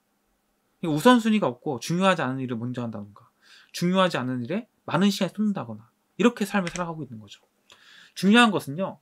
중심을 잡느냐 잃느냐 이게 아니라 짧게 가느냐 길게 가느냐라는 거예요. 탁월한 성과를 내기 위해서는 오랫동안 불균형 상태에 있어야 됩니다. 내가 뭔가 A라는 것에 성과를 내기 위해서는 A라는 것에 열중하는 삶을 오랫동안 살아야 되는 거예요. 그게 안 되면은 A도 안 되는 거예요. 그래서 중심을 잡느냐 안 잡느냐 중요한 게 아니고 이 중심을 잃은 상태로 혹은 중심을 잡은 상태로 짧게 가느냐 길게 가느냐 이게 중요하다는 거예요. 가장 중요한 일에 우리는 집중해야지만 그 일에서 성과가 나온다라는 거죠. 우선순위에 따라 행동하면 자동적으로 균형에서 벗어나게 됩니다. 그래서 우리는 어떻게 보면은 내가 탁월한 성공을 하고 싶다. 남과 다른 성과를 내고 싶다 한다면은 균형을 깨트려야 됩니다. 이 균형을 유지해서는 절대 그런 성과가 나올 수가 없어요. 따라서 무게를 맞추는 삶을 살으라고 얘기해요. 중요한 일을 제일 앞에 두고 나머지 부분은 그냥 기회가 닿는 대로 관심을 쏟는 거죠. 그래서 훌륭한 삶이란 건 결국 곧 다른 여러 부분에 무게를 맞추는 일이다. 우리가 A부터 Z까지 일을 해야 된다고 해볼게요. 그 A부터 Z까지 먼저 우선순위를 정하는 거예요. 가장 중요한 일, 그 다음 중요한 일, 그 다음 중요한 일, 덜 중요한 일 쭉 세우는 거죠. 그리고 거기에 맞춰서 우리의 무게를 실어주는 거죠. 가장 중요한 일에 가장 무거운 무게를 주고 가장 중요하지 일에 가장 가벼운 무게를 주는 겁니다. 그랬을 때 우리는 균형 잡힌 삶을 살아갈 수 있다는 거죠. 그래서 오늘 일과 삶의 균형이 필요하다. 결론 제가 정리해드리면은 첫 번째, 두 개의 양동이를 들고 균형을 잡는다고 생각하십시오. 직업적 삶과 개인적 삶을 두 개의 양동이에 나누어 담는 겁니다. 각각의 양동이에는 나름의 중심 잡기 기술과 접근법이 있습니다. 그래서 이 양동의 이제 직업적 삶을 담고 개인적 삶을 담은 다음에 직업적 삶에서 내가 중요한 거 우선순위 쭉 매기고 거기서 이제 무게 추를 가지고 무게 균형 잡는 겁니다. 또 개인적 삶에서도 가장 중요한 거, 덜 중요한 거 쭉 우선순위 매긴 다음에 거기에 맞춰서 무게추를 배분해가지고 이제 균형을 잡는, 잡는 거라는 거죠. 두 번째, 직업적 양동이에 무게를 맞춰라. 업무에는 완전히 익혀야 하는 기술이나 지식이 필요합니다. 가장 중요한 업무에 극단적일 정도로 시간을 투자하십시오. 나머지 부분에 대해선 큰 부담을 갖지 마십시오. 직업적 성공을 위해서는 그렇게 해야 합니다. 여러분들이 해야 되는 거 우선순위를 반드시 정해야 된다는 거. 이것저것 섞이고 내가 중요하지 않는 일을 먼저 한다면은 가장 중요한 일에 가장 많은 에너지 쏟지 못하고 결과적으로 성과를 낼 수 없게 되는 거죠. 세 번째, 개인적 삶에서 양동이의 무게를 맞춰라. 삶이라는 것이 직업 하나만 있는 것도 아니고요. 가족 하나만 있는 것도 아닙니다. 여러 부분들이 다 쪼각쪼각 맞춰서 내 삶이 완성되는 거잖아요. 그래서 각 부분을 소홀히 하는 거 없이 모두 지킬 수 있도록 무게 맞추기에 관심을 기울여서 삶을 살아가셔야 됩니다. 그래야지 후회하지 않는 삶을, 뭐 하나 놓치지 않고 후회하지 않는 삶을 살아갈 수 있게 됩니다. 그래서 오늘 성공에 대한 잘못된 믿음 6가지 중에서 다섯 번째, 일과 삶의 균형이 필요하다라는 주제로 이야기해봤는데요. 여러분들 워라벨에 대해 생각 좀 바뀌셨나요? 워라벨이 중요한 게 아니고 일단 무게의 균형을 맞추는 게 중요합니다. 내가 일적인 측면에서 중요하다고 생각하는 거 우선순위 정하고 또 라이프, 여유, 여유 생활인데 개인적 삶에서 중요한 생각을 쭉 적은 다음에 그 중요도에 맞춰서 내 무게의 추를 이제 다, 다는 거죠. 그래서 중요한 일에 많은 시간을 할애하시고 덜 중요한 일은 뒤로 미루고 가장 적은 시간을 활용하실 때 여러분들은 여러분들이 원하는 성과를 낼 수 있고 가장 큰 성취를 할 수 있다고 이 책의 저자는 말하고 있습니다. 그래서 오늘 영상이 도움이 되셨다면요. 구독과 좋아요 그 많은 분들께 공유 부탁드립니다. 고맙습니다. 오늘 이야기해 볼 주제는요. 성공에 대한 잘못된 믿음 6가지 중에서 바로 여섯 번째 마지막입니다. 크게 벌이는 일은 위험하다. 여러분들은 일을 크게 벌리는 거 어떠세요? 좀 뭐좀 뭐, 두렵죠? 왜냐면 수습하기 힘들 것 같으니까. 근데 이런 생각이 잘못된 생각이라는 겁니다. 왜 잘못된 생각일까요? 어, 크게 버리는 것은 뭔가 그 거짓말이라고 이 책의 저자는 아주 단호하게 얘기하는데 어쩌면 세상에서 가장 심한 거짓말이라고 얘기해요. 좀 말이 심하다 싶은데 이야기를 좀 들여다 보면은 나름 납득을 할 만합니다. 큰 성공을 두려워하면요. 성공을 피하거나 그것을 이루기 위한 노력을 중단할 수 있기 때문에 그렇습니다. 내가 어떤 그 큰 성공에 도전하는 것을 두려워한다? 그것을 하지 않겠죠? 그럼 당연히 그에 대한 노력을 하지 않게 되죠. 그럼 어떤 일이 생기느냐? 내가 만약에 천억을 벌 수 있는 부자였어요, 원래. 이런 건뭐 타고났어. 근데, 아, 내가 두려운 거죠? 그래서, 아, 내가 천억 과연 벌 수 있을까? 난 못 벌 것 같은데? 무슨 천억이야? 나는 천억 필요 없어. 이렇게 생각하고, 그냥 연봉 3천만 원에 만족하기 시작하면은, 나는 그냥 천억을 벌 수 있는 능력이 있음에도 불구하고, 결과적으로 3천만 원밖에 벌지 못한다라는 겁니다. 그래서 우리가 큰 것을 두려워하면은 이런 인생을 완전히 망치는 폐단이 나타나게 된다라는 거죠. 크다와 성과를 함께 들으면 그러니까 큰 성과죠. 사람들은 보통 이런 이미지를 떠올립니다. 아, 그거 힘들겠다. 아, 그 일이 되게 복잡하겠는데? 시간이 오래 걸리겠다. 그런데 이런 개념들이 결과적으로 거부감을 일으키는 건데 이런 개념이 다 잘못됐다라는 거예요. 큰일에는 위험이 있다는 생각을 가지고 이를 두려워하면은 사고 범위가 점점 작아집니다. 아까도 말씀드렸지만 천억을 벌 수 있는 사람이 연봉 3천만 원이 될 수밖에 없는 거죠. 점점 그게 내한테 필요한가? 나 그거 아니어도 되는데 내가 할 수 있을까? 나 못할 것 같은데 일이 너무 복잡한데 이런 생각 하다 보니까 천억이 100억이 되고 100억이 10억이 되고 10억 1억이 되고 1억이 5천만 원, 3천만 원, 2천만 원이 되는 거죠. 궤도를 낮게 잡는 것이 안전하다고 느끼고 지금 이 자리에 그대로 머무는 게 신중한 선택같이 느껴집니다. 이런 큰일을 두려워하기 시작하면은 작은 사고들이 여러분들의 하루를 지배하기 시작하고 결과적으로 여러분들의 인생에 큰 성과, 기적 같은 변화는 일어나지 않게 되는 거죠. 자신의 한계를 아는 사람은 없습니다. 지도에서는 경계가 아주 뚜렷하죠. 하지만 삶에서는 그렇지 않습니다. 그런데 왜 자꾸 한계 지으려고 하십니까? 닿을 수 있는 궁극적인 천장 높이가 어딘지 아는 사람은 아무도 몰라요. 저도 모르고 여러분도 몰라요. 여러분들이 정말 삼성의 이재용보다 더 큰 부를 형성할 수도 있고요. 제가 뭐 빌 게이츠와 더 큰 부를 형성할 수도 있겠죠. 아무도 인생을 알 수가 없다라는 거죠. 그런데 한 가지 진실, 크게 생각하는 것은 곧 자신이 어떤 사람이 될 수 있는지 생각하는 겁니다. 이 개념을 받아들여야지만 여러분들은 이재용보다 더 큰 부를 모을 수 있고요.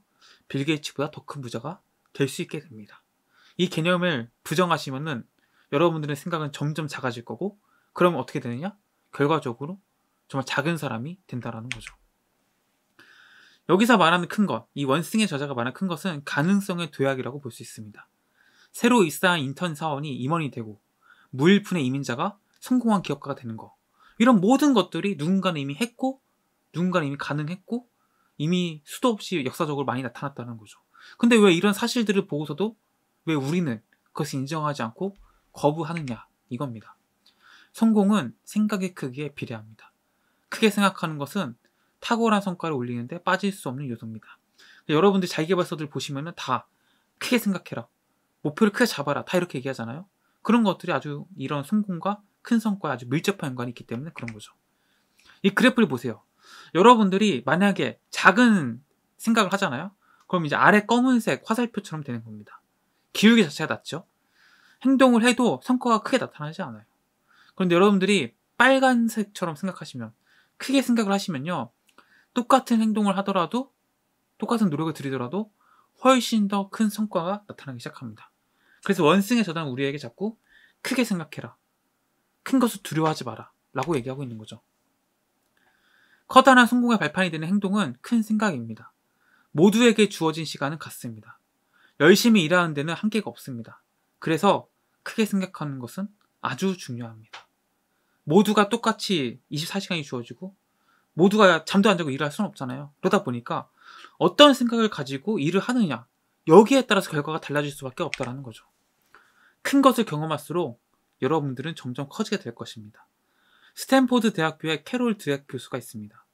40년 넘는 시간 동안 우리의 자아상이 우리의 행동에 어떤 영향을 미치는지를 연구했어요. 성장의 사고방식과 고정의 사고방식을 이제 여기서 제안을 하는데 이게 뭐냐? 성장의 사고방식 들어보셨죠? 이 성장의 사고방식은 사고가 굉장히 유연합니다. 그래서 어떤 문제에 직면했을 때 이것을 부딪혀서 그냥 뭐 새로운 방법을 계속 찾아 나가는 사고방식인 거예요. 그러니까 이런 어떤 문제나 어려움 닥쳤을 때 이것을 성장의 계기로 삼는 사고방식이 성장의 사고방식입니다. 반면에 고정의 사고방식이 뭐냐? 딱 자기 생각에 굳어 있는 겁니다. 그러니까 어떻게 생각하죠? 난 안 돼. 난 이거 못해. 라고 생각하는 순간 그것을 포기하게 되죠. 하지만 성장의 사고방식은 내가 이것을 어떻게 풀 수 있을까? 내가 이것을 누구에게 도움을 받으면 이 문제 풀 수 있을까? 이런 식으로 항상 문제를 해결하려고 나를 성장하려는 방법으로 계속 생각하게 되는 거죠. 성장의 사고방식을 가진 학생들을 보니까 더 나은 학습 전략을 쓰고 무력감을 덜 느끼고 더 긍정적인 노력을 기울이는 모습을 보였고 학습 성적도 더 좋았다라는 겁니다. 결과적으로 더 성공할 수밖에 없겠죠. 그래서 여러분들 이 책의 저자 원승의 저자가 내 안의 거인을 깨우는 법에 대해서 얘기합니다. 그것은 바로 큰 삶을 추구하는 거죠. 큰 것은 위대함, 남다른 성과를 상징합니다. 여러분들이 살아갈 수 있는 인생들 중에서 가장 위대하고 가장 거대하고 가장 살고 싶은 삶을 생각하십시오. 그것을 그리고 그것을 이뤄내는 겁니다. 큰 일을 두려워하지 마십시오. 오히려 여러분들 두려워해야 될 것은 뭐냐? 평범한 이류에 그치는 것을 두려워하셔야 됩니다. 재능의 낭비를 두려워할 그런 것들을 두려워하셔야지 내가 이걸 할 수 있을까? 난 이거 못해. 이런 생각하지 말라는 겁니다. 여러분들에게 주어진 삶을 최대한으로 살지 못한 것을 두려워하셔야 됩니다. 큰 일을 두려워하면 여러분들의 생각은 점점 축소되고 작아지고 결과적으로 여러분들은 작은 성과밖에 이룰 수 없게 됩니다. 뭔가 큰 기회가 오더라도 그것을 피하게 되죠. 크게 생각하고 크게 살아야지만 자신의 삶과 일에서 진짜 잠재력을 경험할 수 있게 됩니다. 그래서 결론. 크게 버리는 일은 위험하다. 이 생각이 잘못됐다는 거죠. 그래서 여러분들 크게 생각하셔야 됩니다. 다음번에는 무엇을 할까? 이런 점진적인 사고방식을 피하십시오. 여러분들이 궁극적으로 되고 싶은 거 생각하세요. 그리고 그것을 어떻게 하면 내가 될 수 있을지만 고민하시면 되는 겁니다. 잘해봐야 느린 차선밖에 안 되는 그런 것들을 생각하고 에너지 쓰지 말라는 거예요. 더 큰 질문을 하고 가능성을 두 배 높이는 겁니다. 두 번째, 메뉴판만 보고 주문하지 말라는 겁니다. 이미 쓸 수 있는 선택지로 자신의 길을 결정하지 마십시오. 세상을 바꾼 사람들은 모두 그전에 아무도 상상하지 못한 결과물을 내놓았습니다.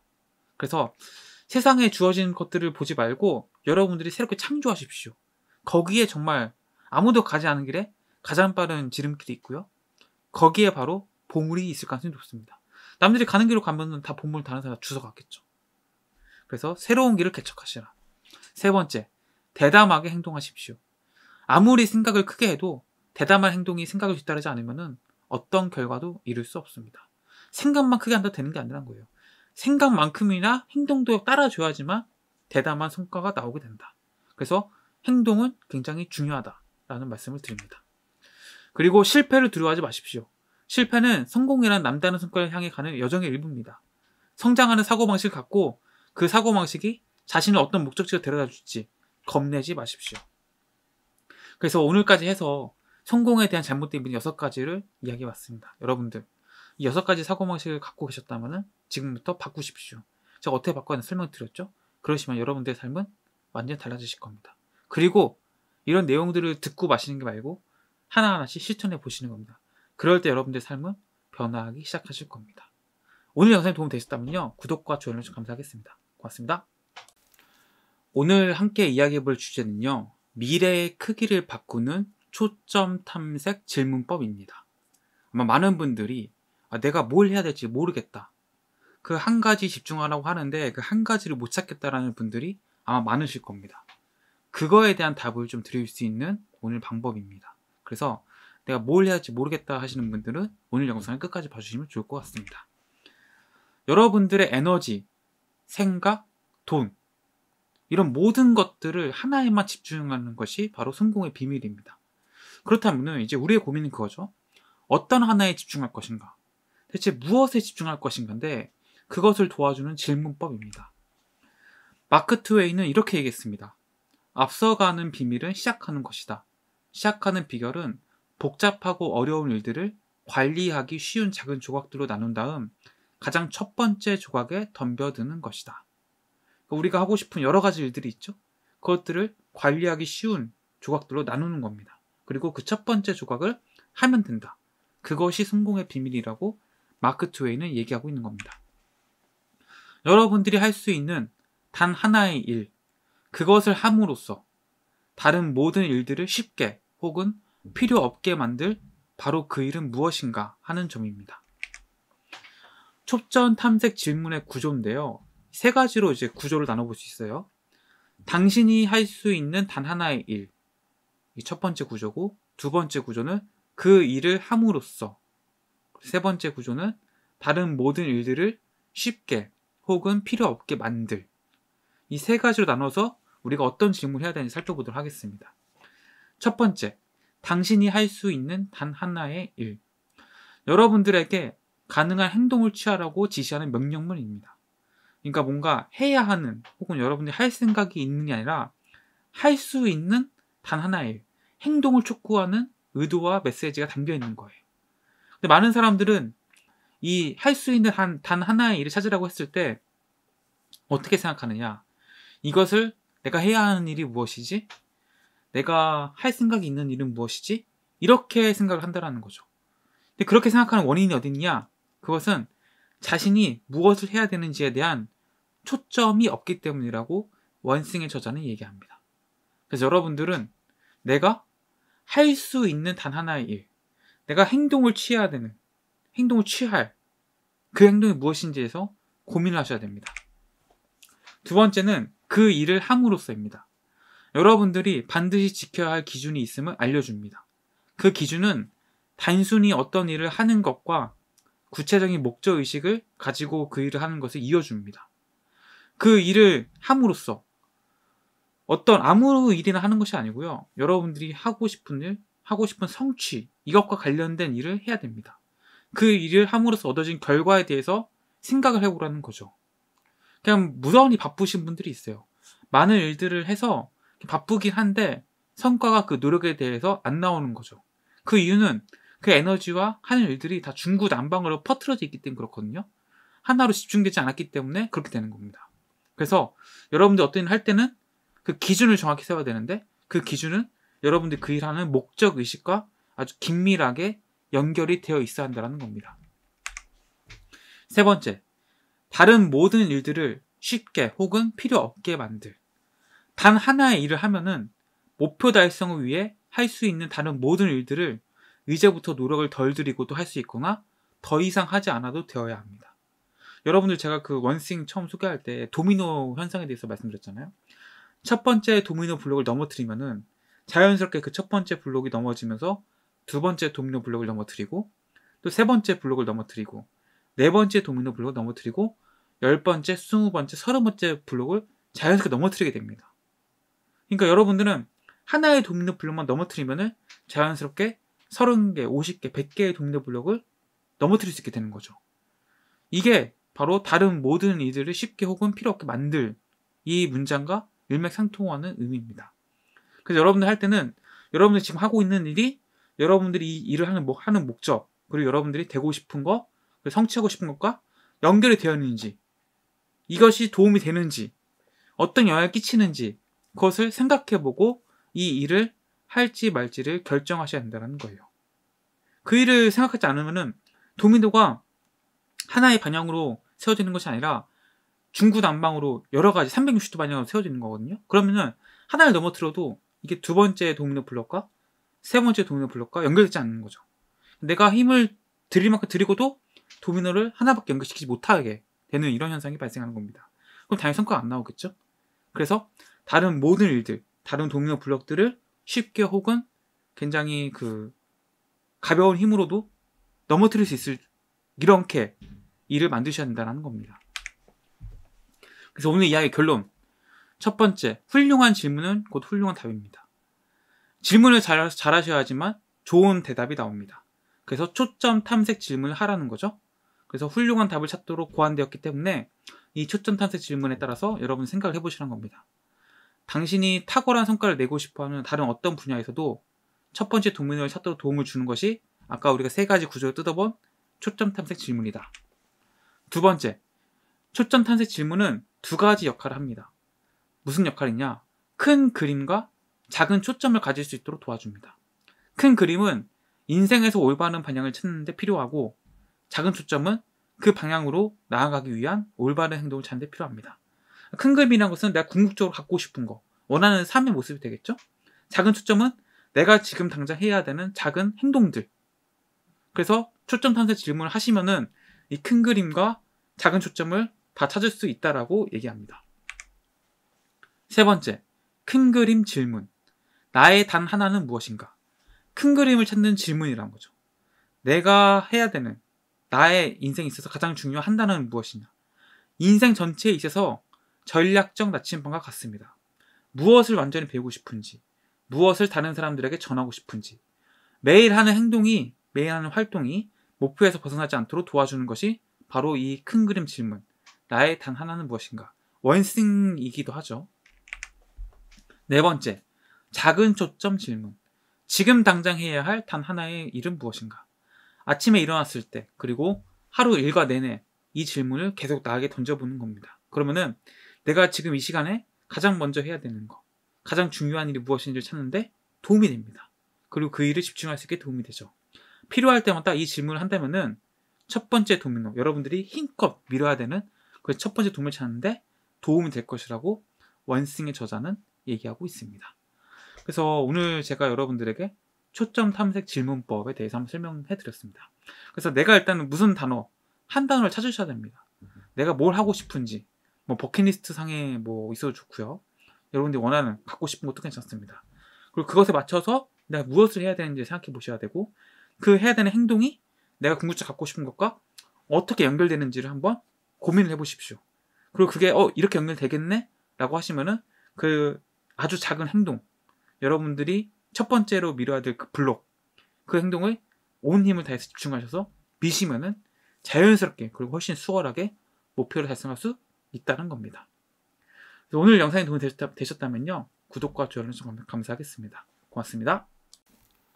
오늘은 남다른 성과를 내기 위해 꼭 필요한 시간에 대해서 한번 이야기를 해보도록 하겠습니다. 시간 관리 방법이라고도 좀 볼 수 있는데요. 이 원싱의 저자가 얘기하는 시간 관리법. 오늘 이야기 끝까지 들어주시면 감사하겠습니다.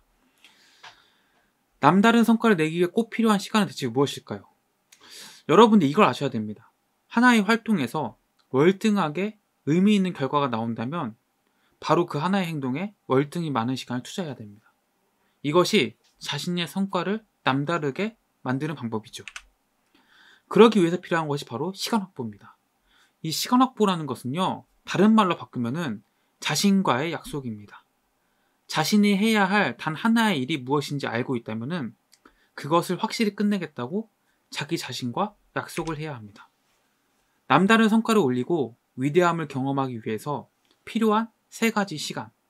이 시간을 잘 활용하신다면은 여러분들은 여러분들이 가장 중요한 그 한 가지를 이뤄낼 수 있는 시간을 충분히 확보하실 수 있습니다. 원승의 저자가 얘기하는 시간 관리법. 첫 번째는요, 휴식 시간 확보하기. 그리고 두 번째는 단 하나의 일을 할 시간을 확보하기. 세 번째는 계획할 시간 확보하기입니다. 이 세 가지를 하나하나 살펴보도록 하겠습니다. 첫 번째, 휴식 시간 확보하기. 성공한 사람들은 매년 휴가 계획을 정하며 한 해를 시작합니다. 그들은 그 시간이 필요함을 알고 자신에게 그런 시간을 낼 자격이 있다는 것도 알고 있기 때문에 그렇습니다. 그래서 여러분들은 뭔가 일을 할 때 내가 어떤 일을 해야 될지 그것을 먼저 정하는 게 아니고요. 가장 먼저 해야 되는 것은 내 휴가 계획, 휴가 시간을 먼저 확보하는 것. 이게 일단 원스팅의 저자가 얘기하는 가장 중요한 포인트입니다. 성공을 거두지 못한 사람들은 이 휴식 시간과 업무 시간을 굉장히 애매모호하게 섞어둔다라는 거죠. 왜냐하면은 자신의 일에 성과가 나오지 않기 때문에 나에게는 자기 자신에게는 그럴 자격이 없다고 생각하는 것입니다. 미리 휴식 시간을 정해두면요. 근데 사실상 업무 시간을 중심으로 쉬는 시간을 관리하는 것이 아니라 그 반대가 됩니다. 나는 이때 쉬어야 되니까 업무 시간을 다다다다 정하게 되는 거죠. 그래서 이 쉬는 것은 일하는 것만큼 중요하다는 생각을 가지고 이 쉬는 것에 대해서 죄책감을 가지 마시고 먼저 내가 몇 시부터 몇 시까지 쉬겠다라든지 며칠부터 며칠까지 쉬겠다라는 것을 확실히 정해두셔야지만 그것이 흔들리지 않고 거기에 맞춰서 업무 시간들이 쫙 정해지게 되는 것입니다. 두 번째, 단 하나의 일을 할 시간을 확보하기. 휴식 시간을 따로 정한 다음에는 자신이 해야 할 단 하나의 일을 확보해야 됩니다. 여러분들, 가장 중요한 게 먼저 하는 게 아니고요. 휴식 시간을 정하는 것을 가장 먼저 한 다음에 자신이 해야 할 단 한 가지 일을 그 다음에 하는 겁니다. 여러분들이 해야 할 가장 중요한 일이 두 번째로 오는 것이 맞다고 거듭 이 책의 저자는 이야기하고 있습니다. 먼저 휴식 시간을 정한 다음에 여러분들이 해야 할 단 한 가지 일을 찾으십시오. 탁월한 성과를 관리하려면 아침에는 생산자가 되고 오후에는 관리자가 되어야 합니다. 여러분들의 목표는 여러분들의 그 단 하나의 일을 마치는 거예요. 단 하나의 일을 할 시간을 따로 떼어두지 않으면은 그 시간은 절대 확보할 수 없고 그 일은 영영 끝나지 않을 것입니다. 그래서 가급적이면은 하루에 오전 시간, 이른 시간에 뭉터기로 여러분들이 해야 할 가장 중요한 그 일을 할 시간을 확보해 놓으라는 게 이 원승의 저자의 이야기입니다. 세 번째, 계획할 시간을 확보하기. 따로 시간을 확보해야 할 마지막 우선순위는 바로 계획할 시간입니다. 지금 자신이 어디에 있는지, 어디로 가고자 하는지를 끊임없이 돌아보고 점검하는 거죠. 그래서 여러분들이 계획할 시간을 확보한다는 것은 계획을 짠다는 얘기고 그 계획을 짜는 것에는 내가 지금 이대로 가면 잘 되는 건지 지금 하고 있는 일이 내 목표에 잘 부합하는지 이런 것들을 되돌아보고 검토해보는 시간이라는 겁니다. 매주 1시간 정도를 따로 떼어넣어서 연간 목표와 월간 목표를 검토하십시오. 하루하루 가장 중요한 도민을 넘어뜨리면요. 마법이 일어나게 됩니다. 시간을 확보하고 그것을 지키려면요. 적극적으로 보호하셔야 됩니다. 시간을 따로 떼어두는 거, 그것까지는 어찌어찌 할 수 있습니다. 하지만 지키는 것은 또 다른 문제거든요. 확보해놓고 지키지 못하면은 결과적으로 그 시간은 다른 일을 하게 되어 있습니다. 그래서 우리가 확보하는 것만큼 어쩌면 그 이상으로 지키는 것에도 많은 관심을 기울여야 된다. 세상은 여러분들의 목적의식이나 우선순위가 무엇인지 모르고 관심도 없습니다. 그것을 하기 위해서 그 시간을 지키는 것은 오로지 여러분들의 몫이고 저의 몫인 거죠. 그 시간을 지키는 것은 나의 임무라고 생각하셔야 됩니다. 확보한 시간을 보호하는 가장 좋은 방법, 그것을 변경하거나 미룰 수 없다는 생각을 확고히 하는 것입니다. 누군가가 그 시간에 여러분들에게 혹은 저에게 다른 일을 시키려 한다? 그럼 이렇게 말을 하는 겁니다. 미안하지만 그 시간에는 이미 약속이 있습니다. 거절을 하는 거죠. 그리고 좀 원숭이 저자가 구체적으로 좀 그 시간을 확보할 수 있는, 지킬 수 있는 팁을 알려줍니다. 네 가지 팁을 알려주는데요. 하나하나씩 살펴보도록 하겠습니다. 첫 번째, 벙커를 짓는 겁니다. 남의 방해를 받지 않을 장소를 찾고 자신만의 공간을 만들거나 혹은 인터넷을 끊는다거나 휴대폰을 꺼놓는다든지 이런 식으로 나만의 온전한 시공간을 확보하는 거죠. 두 번째, 물자를 비축하는 겁니다. 화장실을 빼고는 절대 나갈 일을 만들지 마십시오. 왜냐하면 잠시 나갔다가 누군가를 마주치게 되면 여러분들의 계획, 여러분들의 하루가 망칠 수 있습니다. 세 번째, 지뢰를 찾아 없애십시오. 전화기를 끄고 이메일을 닫고 인터넷 브라우저에 빠져나오셔야 됩니다. 여러분들의 가장 중요한 일은 여러분들의 관심을 100% 받을 자격이 있습니다. 네 번째, 도움을 구하십시오. 여러분들을 찾을 가능성이 높은 사람들에게 지금 무엇을 하고 있는지, 언제 시간이 나는지 알려주십시오.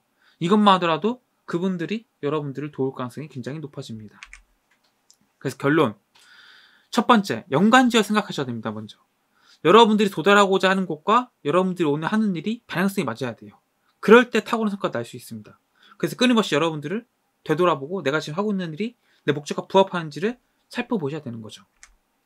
두 번째, 단 하나의 일을 위한 시간을 따로 정해야 됩니다. 하루 일과 중에서 이른 시간을 그것도 많이 따로 떼어 두셔야 됩니다. 한 번에 4시간 정도의 뭉터기 시간을 여러분들이 가장 중요하다고 생각하는 그 일에 할애하셔야 됩니다. 그 시간을 확보하기 가장 좋은 거는 아침 이른 시간. 그때로 확보하시면은 여러분들의 의지력도 만땅이기 때문에 그 일을 굉장히 효과적이고 효율적으로 할 수 있다는 거죠.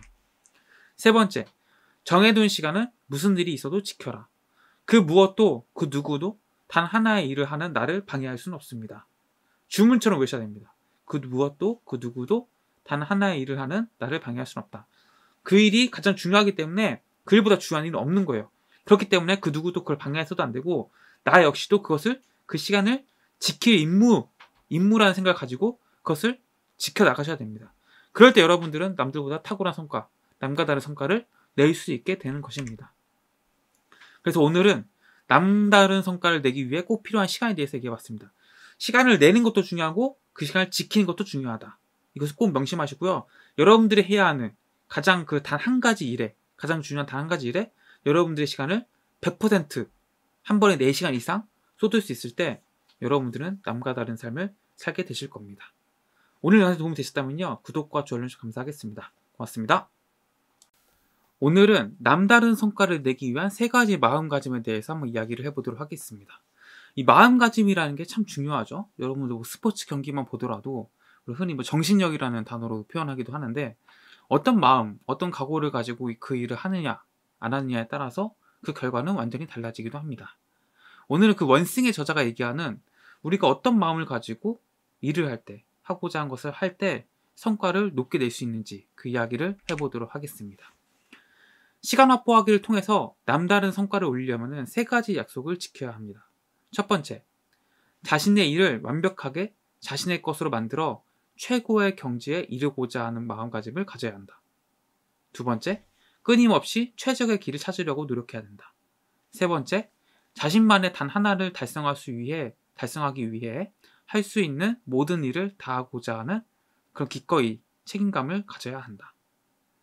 그러니까 하나하나 살펴보면은 첫 번째, 최고의 경지에 이르고자 하는 마음가짐. 내가 일단 그런 마음이 있어야 된다는 거죠. 그게 없으면 안 됩니다. 두 번째, 최적의 길을 찾으려고 하는 노력. 그러니까 막연히 그냥 해야 되니까 하는 게 아니고 내가 일을 어떻게 하면 더 빨리 그리고 더 큰 성과를 낼 수 있을까 이런 노력들을 해야 된다는 거죠. 그리고 세 번째 자신만의 단 하나를 달성하기 위해 할 수 있는 일을 모두 하겠다는 책임감을 가져야 한다는 거죠. 이것을 좀 더 다른 말로 좀 쉬운 말로 바꿔보면은 이겁니다. 첫 번째, 전문가의 길을 걸어라. 두 번째, 도전에서 목적 의식으로 이동하라. 세 번째, 책임감을 갖고 살아라. 하나하나 살펴볼 텐데 첫 번째, 전문가의 길을 향해 걸어라. 대부분의 사람들은 어떤 분야의 전문가가 되는 것을 목표로 삼습니다. 나는 법에 대해서 전문가가 될 거야. 나는 부동산 전문가가 될 거야. 이런 식으로 최종 목표 내지는 결과물로 생각하죠. 하지만 원스의 저자는 그게 아니라고 얘기합니다. 그건 역시 하나의 사고방식이자 행동 양식이며 경험의 일부라는 겁니다. 왜냐하면 어떤 분야의 끝이 어디 있습니까? 늘 모르는 건 생기기 마련이고 그 끝은 늘 새로운 것이 나오기 마련이잖아요. 그렇기 때문에 어떤 결과물이나 최종 목표로 생각하면 안 된다는 겁니다. 무엇보다도 전문성이라는 것은 시간에 비례합니다. 1시간 한 사람보다는 10시간, 10시간 한 사람은 100시간, 100시간 한 사람은 1000시간, 1000시간 한 사람보다는 1만 시간을 한 사람이 더 전문성이 있고 더 그 일을 잘하겠죠. 그래서 이 전문성은 시간에 비례하게 된다. 단 하나를 위해 시간을 따로 확보할 때에는 그것을 완전히 내 것으로 만들겠다는 자세로 임하셔야 됩니다. 그렇게 할 때 생산성은 최대로 높아질 수 있고 궁극적으로 자신이 가진 잠재력을 최고로 발휘할 수 있는 기회를 얻게 됩니다. 무언가의 경지에 이르는 길은 그냥 막연하게 최선을 다하면 되는 것이 아닙니다. 최고의 결과를 얻기 위해서 가장 알맞은 방법으로 노력하는 것. 그것이야말로 최고의 경지에 이룰 수 있는, 가장 빠르게 이룰 수 있는 방법이라는 거죠. 특히 또 생산성이 높은 사람들은요, 자신들의 타고난 한계를 인정하지 않습니다. 목적의식을 가지는 거, 이 두 번째 얘기인데요. 굉장히 중요합니다. 그냥 도전을 해보겠다? 이런 마인드를 버려야 된다는 거죠. 무슨 일을 할 때 한계 짓지 마십시오. 도전하는 방식. 아, 나는 이거 한번 도전해 보겠어. 이런 방식으로, 이런 마인드로 일을 한다는 것은 성취 한계 부딪히면은, 아, 난안 되나 보다. 그리고 다시 또 거기 안주하고, 다시 또 도전해야지. 이런 마음을 갖게 된다는 거죠. 그런 마음이 아니라요. 나는 기필코 이 목적을 달성하겠다. 목표를 달성하겠다라는 그 마음가짐으로 해야 됩니다. 그래야 어렵고 부자연스러운 일에 도전할 수 있고 그 일을 이뤄낼 수 있다는 거죠. 도전할 만한 일을 한다는 것은 내가 100이라는 능력치 가졌을 때 103이나 105 정도의 미션이나 일을 한다라는 거죠. 근데 그렇게 해서는 안 된다는 겁니다. 목적의식. 저게 200일지라도 300일지라도 내 능력은 비록 100이지만 난 저걸 해내겠어. 그런 목적의식을 가지고 일을 할 때 내가 가진 잠재력들이 폭발하게 된다는 거죠. 목적의식을 가진 사람들은 이렇게 말합니다. 나는 아직도 열심히 성장 중이다. 그렇다면 내가 택할 수 있는 길에는 어떤 것들이 있을까? 할 수 있는 최선을 다했는데 그 결과가 나올 수 있는 최고라는 확신이 들지 않는다면 목적의식을 지닌 방식으로 시도해 보셔야 합니다. 목적의식을 갖는 게 굉장히 중요하다. 막연하게 내가 열심히 하고 있다? 난 최선을 다하고 있다? 이 정도로는 안 된다라는 거예요. 세 번째, 책임감을 갖고 살아라. 여러분들이 하는 일과 여러분들이 얻는 일은 특별한 관계가 있습니다. 행동이 결과를 결정하고요. 결과는 다시 행동에 영향을 미치게 됩니다. 그래서 행동하지 않으면 결과 나오지 않고요. 행동해서 좋은 결과 얻잖아요. 그 좋은 결과가 더 많은 기회를 가져오고 더 많은 일들을 할 수 있게 해줍니다. 자신의 결과에 대해 다른 누구도 아닌 나 스스로 책임져야 한다는 생각 가지고 있어야 돼요. 스스로 책임지는 행동이 성공을 결정하는 가장 중요한 것이 됩니다. 그래서 오늘 이야기의 결론. 첫 번째, 최선을 다하라. 당신에게 가장 중요한 일에서 최고가 될 수 있도록 최선의 노력을 다할 때만이 여러분들은 남다른 성과를 얻을 수 있게 됩니다. 두 번째, 자신의 단 하나에 대해 목적의식을 가져라. 도전의식 갖고는 안 된다는 거죠. 도전의식보다 목적 의식을 가지셔야 됩니다. 여러분들을 가장 멀리까지 데려다 줄 수 있는 역할 모델과 시스템을 찾아내셔야 됩니다. 세 번째, 결과에 대해 책임을 지십시오. 여러분들이 원하는 것이 남다른 성과라면 피해자 노릇을 해서는 아무것도 얻을 수 없습니다. 변화를 원한다면 지금 당장 조수석에서 나와서 운전석에 앉아야 됩니다. 조수석과 운전석 얘기가 나와서 제가 좀 더 덧붙이면은 그 우리가 차를 타고 가면은 먼 길을 가면 멀미를 하잖아요. 근데 신기하게도 그 멀미라는 것은 내가 운전을 하지 않을 때 발생합니다. 운전자가 멀미를 하는 경우는 없잖아요. 그렇죠? 내가 보통 조수석에 앉거나 뒷자리에 앉았을 때 먼 길을 가게 되면은 그때 멀미가 나죠. 그 이유를 잘 생각해 보십시오. 그 이유는 내가 이 버스나 뭐 자동차 안에서의 통제권이 없기 때문에 그 버스를 내가 운전을 할 수가 없잖아요. 그래서 멀미를 하게 되는 거거든요. 인생에서도 마찬가지입니다. 인생에서도 내가 내 통제권을 갖는 것이 중요합니다. 내가 내 인생 살아가는 것이지만 살아가는 것이지만 내 뜻대로 살지 못하는 사람 너무나 많습니다. 내가 하고 싶은 일을 하는 것이 아니라 내가 하고 싶지 않은 일을 하고요. 내가 원하는 것이 있는데 원하는 것을 성취하지 못하는 것들. 그런 것 전부 다 내 인생의 통제권을 잃어버린 상황이 되는 거죠. 그래서 여러분들은 영상을 보신 여러분들은 여러분 인생에 운전석에 앉으십시오. 그럴 때 그 인생이라는 여행이 있잖아요. 훨씬 더 즐겁고 재미있어집니다. 근데 내가 만약에 이 인생이라는 여행에 통제권을 잃게 되면은 그 인생은 굉장히 힘들고 고난이고 지루하고 삶을 살고 싶지 않게 되죠. 왜? 재미가 없으니까.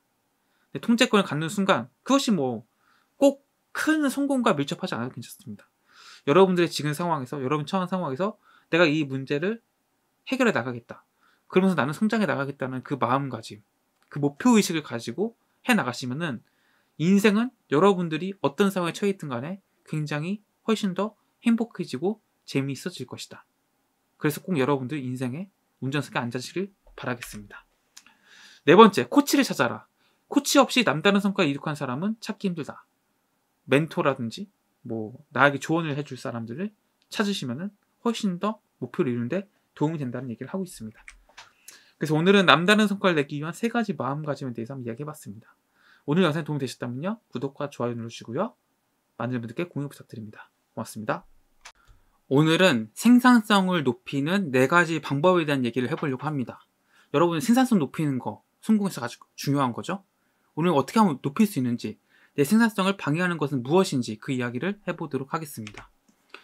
생산성을 훔쳐가는 네 종류의 도둑들이 있다고 이 책의 저자는 얘기합니다. 그 네 가지 도둑은 무엇이냐? 첫 번째, 아니오라고 말하지 못하는 것. 두 번째, 혼란에 대한 두려움. 세 번째, 건강에 나쁜 습관들. 네 번째, 목표 달성을 도와주지 않는 환경. 이 네 가지가 생산성을 훔쳐가는 도둑들이라는 겁니다. 그럼 하나하나 이 도둑들을 어떻게 잡아야 할까요? 첫 번째, 아니오라고 말하지 못하는 것. 언젠가 누군가가 내게 이런 말을 했다고 합니다. 누군가가 부탁해 오면은 아니오를 천 번쯤 한 후에 예라고 답해야 한다. 누군가가 내게 어떤 제안이나 뭔가 부탁을 해오면은 무조건 일단 아니오라고 얘기를 하라는 거죠. 그 다음에 내가 곰곰이 생각해보고 할 만하다 싶으면 그때 가서 예라고 해도 아무런 문제가 되지 않는다는 겁니다. 젊을 때는 이 책의 저자도 그 뜻을 몰랐다고 합니다. 하지만 지금은 현실이 그것보다 더 심각하다고 생각한다고 말하고 있습니다. 집중하려고 할 때 자꾸 방해받는 것도 문제지만 목표 지점에 이르기도 전에 자꾸 다른 길로 빠지는 것은 더 큰 문제라는 겁니다. 자신이 정해놓은 시간을 보호하고 생산성을 유지하려면 여러분들을 궤도에서 벗어나게 만드는 사람이나 사물에게 반드시 거부 의사를 밝혀야 한다는 겁니다. 거절을 못 하시는 분들은 사실은 진짜 성공에 있어서 가장 큰 걸림돌을 하나 갖고 가시는 거예요. 내 시간을 지키지 못하는 거거든요. 물론 도와줄 수 있죠. 도와주는 게 나쁘다는 게 아닌데 모든 일을 다 할 수는 없잖아요. 그러다 보니까 일에는 우선순위가 있는데 그 1순위가 내 성공이 되어야 한다는 겁니다. 동료들이 여러분들에게 조언과 도움을 청할 겁니다. 여러분들이 능력 있고 여러분들이 할 줄 아는 게 많은 것일수 그렇겠죠. 팀원들은 여러분들을 자꾸 자기 팀에 끌어들려 할 겁니다. 또 친구가 도와달라고 할 거예요. 낯선 사람조차도 여러분들에게 뭔가 이야기를 듣고 싶어 하고 부탁을 할 겁니다. 하지만 이 모든 상황이 물론 좋은 상황이긴 하지만 이 상황들을 어떻게 대하느냐에 따라서 여러분들이 여러분들이 가장 소중한 것에 할애할 수 있는 시간의 양이 결정되게 됩니다. 그래서 거절을 하라고 이 책의 저자는 얘기하고 있는 겁니다. 여기 한 가지 중요한 것이 있습니다. 무언가에 대해 예라고 말할 때는 무엇을 거절하는지에 대해서도 반드시 알아야 한다는 겁니다. 예를 들어서 제가 오늘 뭐 영상을 하나 만들어야 돼요. 근데 저녁에 누가 보자고 했어요. 이때 어, 거절하기 좀 미안한데 해서 가면은 나는 내가 나 자신과 영상을 만들기로 한 약속을 저버리게 되는 거죠. 그 약속을 거절하게 되는 겁니다. 그리고 나는 그 친구나 뭐 아는 사람 만나서 밥을 먹든지 술을 먹든지 하겠죠. 이런 것들을 명확하게 인식해야 된다는 겁니다. 그래서 어 나 할 일 없으니까 그냥 얼굴 보 얼굴 볼까? 이런 생각은 버리셔야 됩니다.